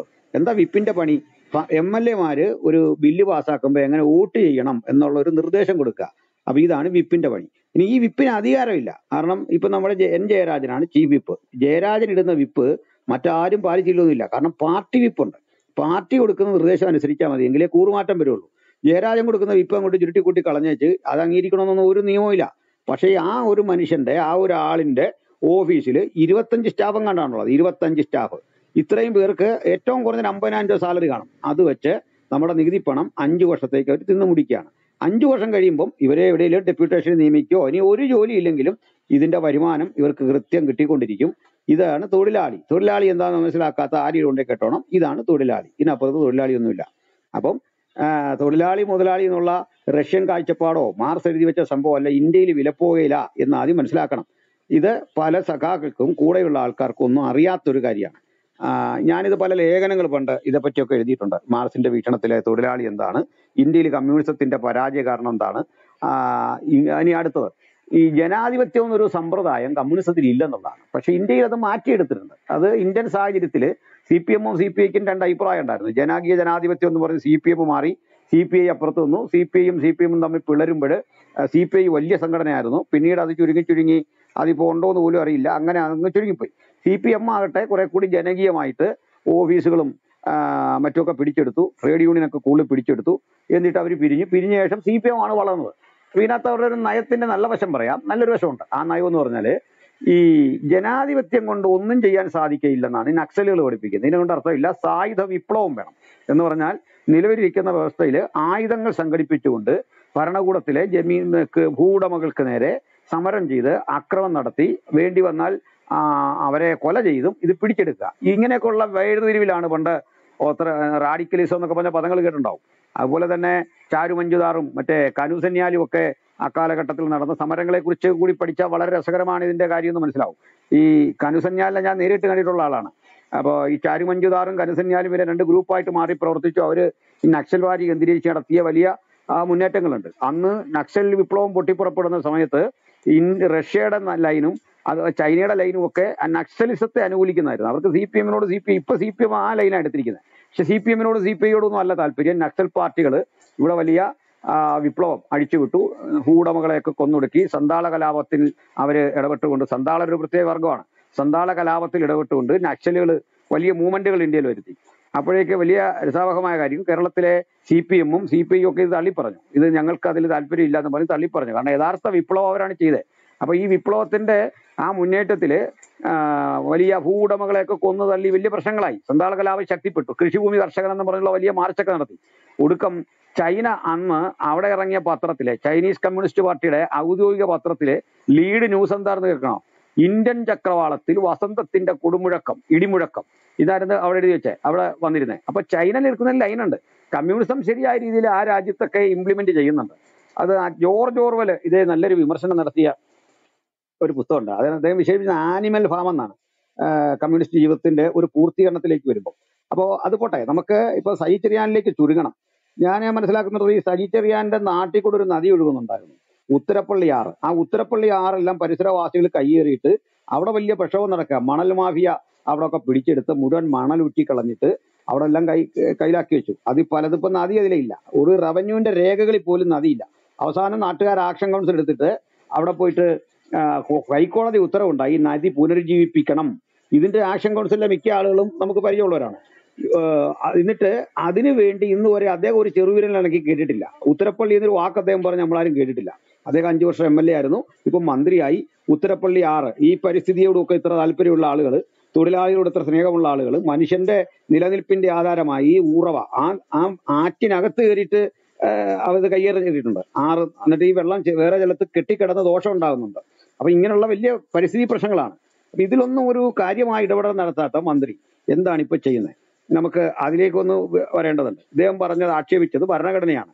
ഭരണഘടന എന്ന് പറഞ്ഞാൽ ആരാണ്ട് സായിപ്പ് പറഞ്ഞു കൊടുത്ത് എഴുതിയതാണ്. ഇദ്ദേഹമൊക്കെ ഏത് രാജ്യത്താ ജീവിക്കുന്ന ഓർക്കണം ഒറ്റ ഒരു സുപ്രഭാതത്തിൽ ഉണ്ടായി വന്ന സാധനമല്ല ഈ ഭരണഘടന. ഇന്ത്യയിൽ ആയിരത്തി തൊള്ളായിരത്തി ആയിരത്തി എണ്ണൂറ്റി അമ്പത്തി ഏഴിലും മഹത്തായ വിപ്ലവം നടക്കുന്നു. അതിനു മുമ്പ് ഈ ഇന്ത്യയിലെ പല സ്റ്റേറ്റുകളും ഈ നാട്ടുരാജ്യങ്ങളായിരുന്നു. നാട്ടുരാജ്യങ്ങളും ഉണ്ട് പിന്നെ British sorry British East India കമ്പനിയുടെ ആധിപത്യത്തിലും ചില രാജ്യങ്ങളുണ്ട്. അതിനൊക്കെ ശേഷം ആയിരത്തി എണ്ണൂറ്റി അമ്പത്തി ഏഴിലാണ് ശരിക്കും ബ്രിട്ടീഷുകാർക്ക് തോന്നുന്നത് ഇത് ഈസ്റ്റ് ഇന്ത്യ കമ്പനിയുടെ കയ്യിൽ ഇരുന്നാൽ പോരാ. അങ്ങനെ ബ്രിട്ടീഷ് രാജാവിന്റെ പക്കലേക്ക് ആയിരത്തി തൊള്ളായിരത്തി അമ്പത്തി എട്ടിൽ ഭരണം മാറുകയാണ്.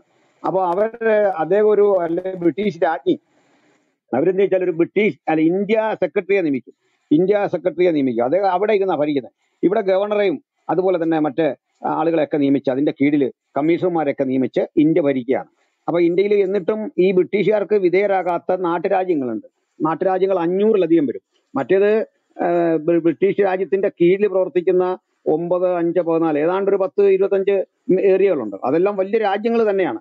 അവയെല്ലാം കാൽക്കീഴിലാക്കി ഭരിക്കുമ്പോഴാണ് ഇവർക്ക് നമ്മുടെ രാജ്യത്ത് നിന്ന് പോകേണ്ട ചില ഘട്ടങ്ങളാണ്. ഒന്നും രണ്ടും ലോകവായുത്തങ്ങൾ വരുത്തുന്നത് അതിനു മുമ്പ് തന്നെ സ്വാതന്ത്ര്യസമരം പ്രക്ഷോഭപ്പെട്ടപ്പോൾ ഇവിടെ ഒരു സ്വരാജ് വേണം എന്ന് ആഗ്രഹിച്ച് നടത്തിയ നീക്കങ്ങളുടെ ഫലമായിട്ട് അവർ മൂന്ന് ഘട്ടങ്ങളിലായിട്ട് ഇന്ത്യയെ എങ്ങനെ ഭരിക്കണം? ഇത് പഠിക്കാൻ വേണ്ടി അയച്ച നമുക്കറിയാവുന്ന കാര്യങ്ങളാണ്. മിൻഡോ മോർലി ഭരണ പരിഷ്കാരമുണ്ട് ആയിരത്തി തൊള്ളായിരത്തി ഒമ്പതാണ് മിൻഡോ മോർലിയുടെ തോന്നുന്നു ആയിരത്തി തൊള്ളായിരത്തി പത്തൊമ്പത് നിൽക്കുമ്പോൾ മൊണ്ടേഗു ചെംസ്ഫോർഡ് ഭരണ പരിഷ്കാരമുണ്ട് ആയിരത്തി തൊള്ളായിരത്തി ഇരുപത്തി ഏഴ് വരുമ്പോഴേക്ക് നമ്മുടെ സൈമൺ കമ്മീഷൻ അയക്കുകയാണ്. ഈ സൈമൺ കമ്മീഷനെ കോൺഗ്രസ് ബഹിഷ്കരിച്ചിട്ട് സൈമൺ കമ്മീഷന്റെ റിപ്പോർട്ട് അംഗീകരിക്കാതെ ഒരു നെഹ്റു കമ്മിറ്റിയെ നമ്മളിവിടെ എടുത്തു. ആ നെഹ്റു കമ്മിറ്റി പറഞ്ഞ കാര്യങ്ങളുടെ റിസൾട്ട് എന്ന നിലയിൽ ഇന്ത്യക്കാരുടെ താല്പര്യങ്ങൾക്ക് അനുസൃതമായിട്ടാണ് ഭരണഘടന ഉണ്ടാകുന്നത്. ആ ഭരണഘടന സായിപ്പ് പറഞ്ഞു കൊടുത്ത എഴുതിയതല്ല. ഇതൊക്കെ എത്രയോ വിഡിത്തമാണ് ഈ പറഞ്ഞുകൊണ്ടിരിക്കുന്നത്. അപ്പൊ ഇതിനകത്ത് ശരിക്കും ഏറ്റവും അധികം കോൺട്രിബ്യൂട്ടർ ആളാണ് നെഹ്റു ആണ്.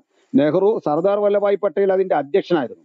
അതിനുവേണ്ടി നിയമിച്ച അതിവിദഗ്ധ സമിതിയാണ് ഈ ഡ്രാഫ്റ്റ് കമ്മിറ്റി ആ ഡ്രാഫ്റ്റ് കമ്മിറ്റിയുടെ ചെയർമാനായിരുന്നു അംബേദ്കർ. ഭരണഘടനയുടെ നിർമ്മാണ സഭയുടെ ചെയർമാൻ എന്ന് പറഞ്ഞാൽ ഡോക്ടർ രാജേന്ദ്ര പ്രസാദ് ആയിരുന്നു. സർദാർ വല്ലഭായ് പട്ടേലും ഒക്കെ വളരെ അധ്വാനിച്ചു ഇങ്ങനെയുള്ള ഒരു സംരംഭം ഉണ്ടാകാൻ. അങ്ങനെ ഏതാണ്ട് ഇരുന്നൂറ്റി തൊണ്ണൂറ്റി രണ്ട് പ്രവിശ്യകളിൽ നിന്ന് വന്നവര് തൊണ്ണൂറ്റി മൂന്ന് ബ്രിട്ടീഷ് രാജ്യങ്ങളിൽ നാട്ടുരാജ്യങ്ങളിൽ നിന്ന് വന്നവര് ഇവരെല്ലാം കൂടെ ചേർന്ന ഒരു മുന്നൂറ്റി എൺപത്തഞ്ച് പേരടങ്ങുന്ന ഒരു സമിതിയാണ് ശരിക്കും ഈ ഭരണഘടനയുടെ കരട് ഉണ്ടാക്കുന്നത്. അത് ദീർഘ ദിവസങ്ങൾ നടന്ന ഏതാണ്ട് പന്ത്രണ്ട് മാസവും പതിനൊന്ന് മാസവും അല്ല രണ്ടു വർഷവും പതിനൊന്ന് മാസവും പതിനേഴ് ദിവസവും നീണ്ടു നിന്ന ചർച്ചകൾ കൊണ്ട് നൂറ്റി തൊണ്ണൂറ്റിയേഴ് തവണ അസംബ്ലി സമ്മേളിച്ച് പല ഡിബേറ്റുകൾ നടത്തിയാണ് ഈ കാര്യങ്ങൾ ചെയ്തത്. ഇതൊക്കെ ഈ മന്ത്രിസ്ഥാനത്തിരിക്കുന്നവരോട് സെക്രട്ടറിമാരെങ്കിലും പറഞ്ഞു കൊടുക്കണ്ടേ? ഇതാണ് ഈ അക്കാഡമിയിലും ഒക്കെ പഠിച്ച് ഏതെങ്കിലും ഒരു ബിരുദം കൈ കാണും. ഈ ബിരുദത്തിന്റെ ബലത്തിലാണ് ഈ സംസാരിക്കുന്നത്. ഒന്നാമത് ഈ സമരം ചെയ്യാനുള്ള ആ കാര്യമൊക്കെ നല്ലതാണ്. സമരത്തിന് വേണ്ടി ക്ലാസ്സിൽ ഇരിക്കാതെ സമരത്തിന് പോവും. എന്നിട്ട് ഏതെങ്കിലും ബലത്തിൽ കഷ്ടിച്ച് പാസ്സാകും എന്നിട്ട് സമൂഹത്തിൽ വന്നിട്ട് ഇത്തരം വിഡിത്ത് എഴുന്നള്ളിക്കുക അത് പറയുന്നതിൽ എനിക്ക് ദുഃഖമുണ്ട് ഇവരെ പറ്റിയൊക്കെ. സാധാരണ ഇടദോഷക്കാർ ബുദ്ധിരാഷ്ട്രന്മാരോ ചിന്തകന്മാരോ ദാർശനികരോ ഒക്കെ ആയിട്ട് അറിയപ്പെടുന്ന ഇത്രയും വലിയ പരമ വിളിച്ചു പറയാവോ? ഒരു വേദിയിൽ വന്നിട്ട്. ഏതായാലും ഇതുവരെ എനിക്ക് പിന്നെ വാർത്തയിലേക്ക് ശ്രദ്ധിക്കാൻ പറ്റിയിട്ടില്ല. ഇവിടെ കറണ്ട് ഇല്ല. അതുകൊണ്ട് ഇതിന്റെ പുരോഗതി അറിയില്ല. അപ്പൊ ഭരണഘടന എന്താണെന്നൊക്കെ ഇദ്ദേഹം പഠിക്കണം ആദ്യം പോയിട്ട്. ഭരണഘടനയുടെ മൂല്യങ്ങളെ കുറിച്ച് പഠിക്കണം. ആ ഭരണഘടനാ മൂല്യങ്ങളിലാണ് നമ്മുടെ രാജ്യം നിലനിൽക്കുന്നത്. അല്ലെങ്കിൽ പിന്നെ എന്താണ് ബദൽ ഇവിടെ ഷിജുമോൻ ചോദിച്ചിരുന്നു ആ കാര്യം. ബദൽ എന്തോ കമ്മ്യൂണിസം ആണോ? കമ്മ്യൂണിസം ആണെങ്കിൽ അത് നേരിട്ട് പറഞ്ഞിട്ടല്ലേ ചെയ്യണ്ടേ? ആ കമ്മ്യൂണിസത്തിൽ എവിടെയാണാവോ ഈ മന്ത്രിസ്ഥാനം? അവിടെ എവിടെയാണാവോ ഇങ്ങനത്തെ എന്താ പറയാ ഈ മാടമ്പിത്തരമൊക്കെ ഇവിടെ അവിടെ ഇരിക്കുന്നത്. അതിന്റെ ആ കൃതികളിലൊക്കെ അത് മഹത്തരമായി തന്നെ എഴുതിയിരിക്കുന്നത്.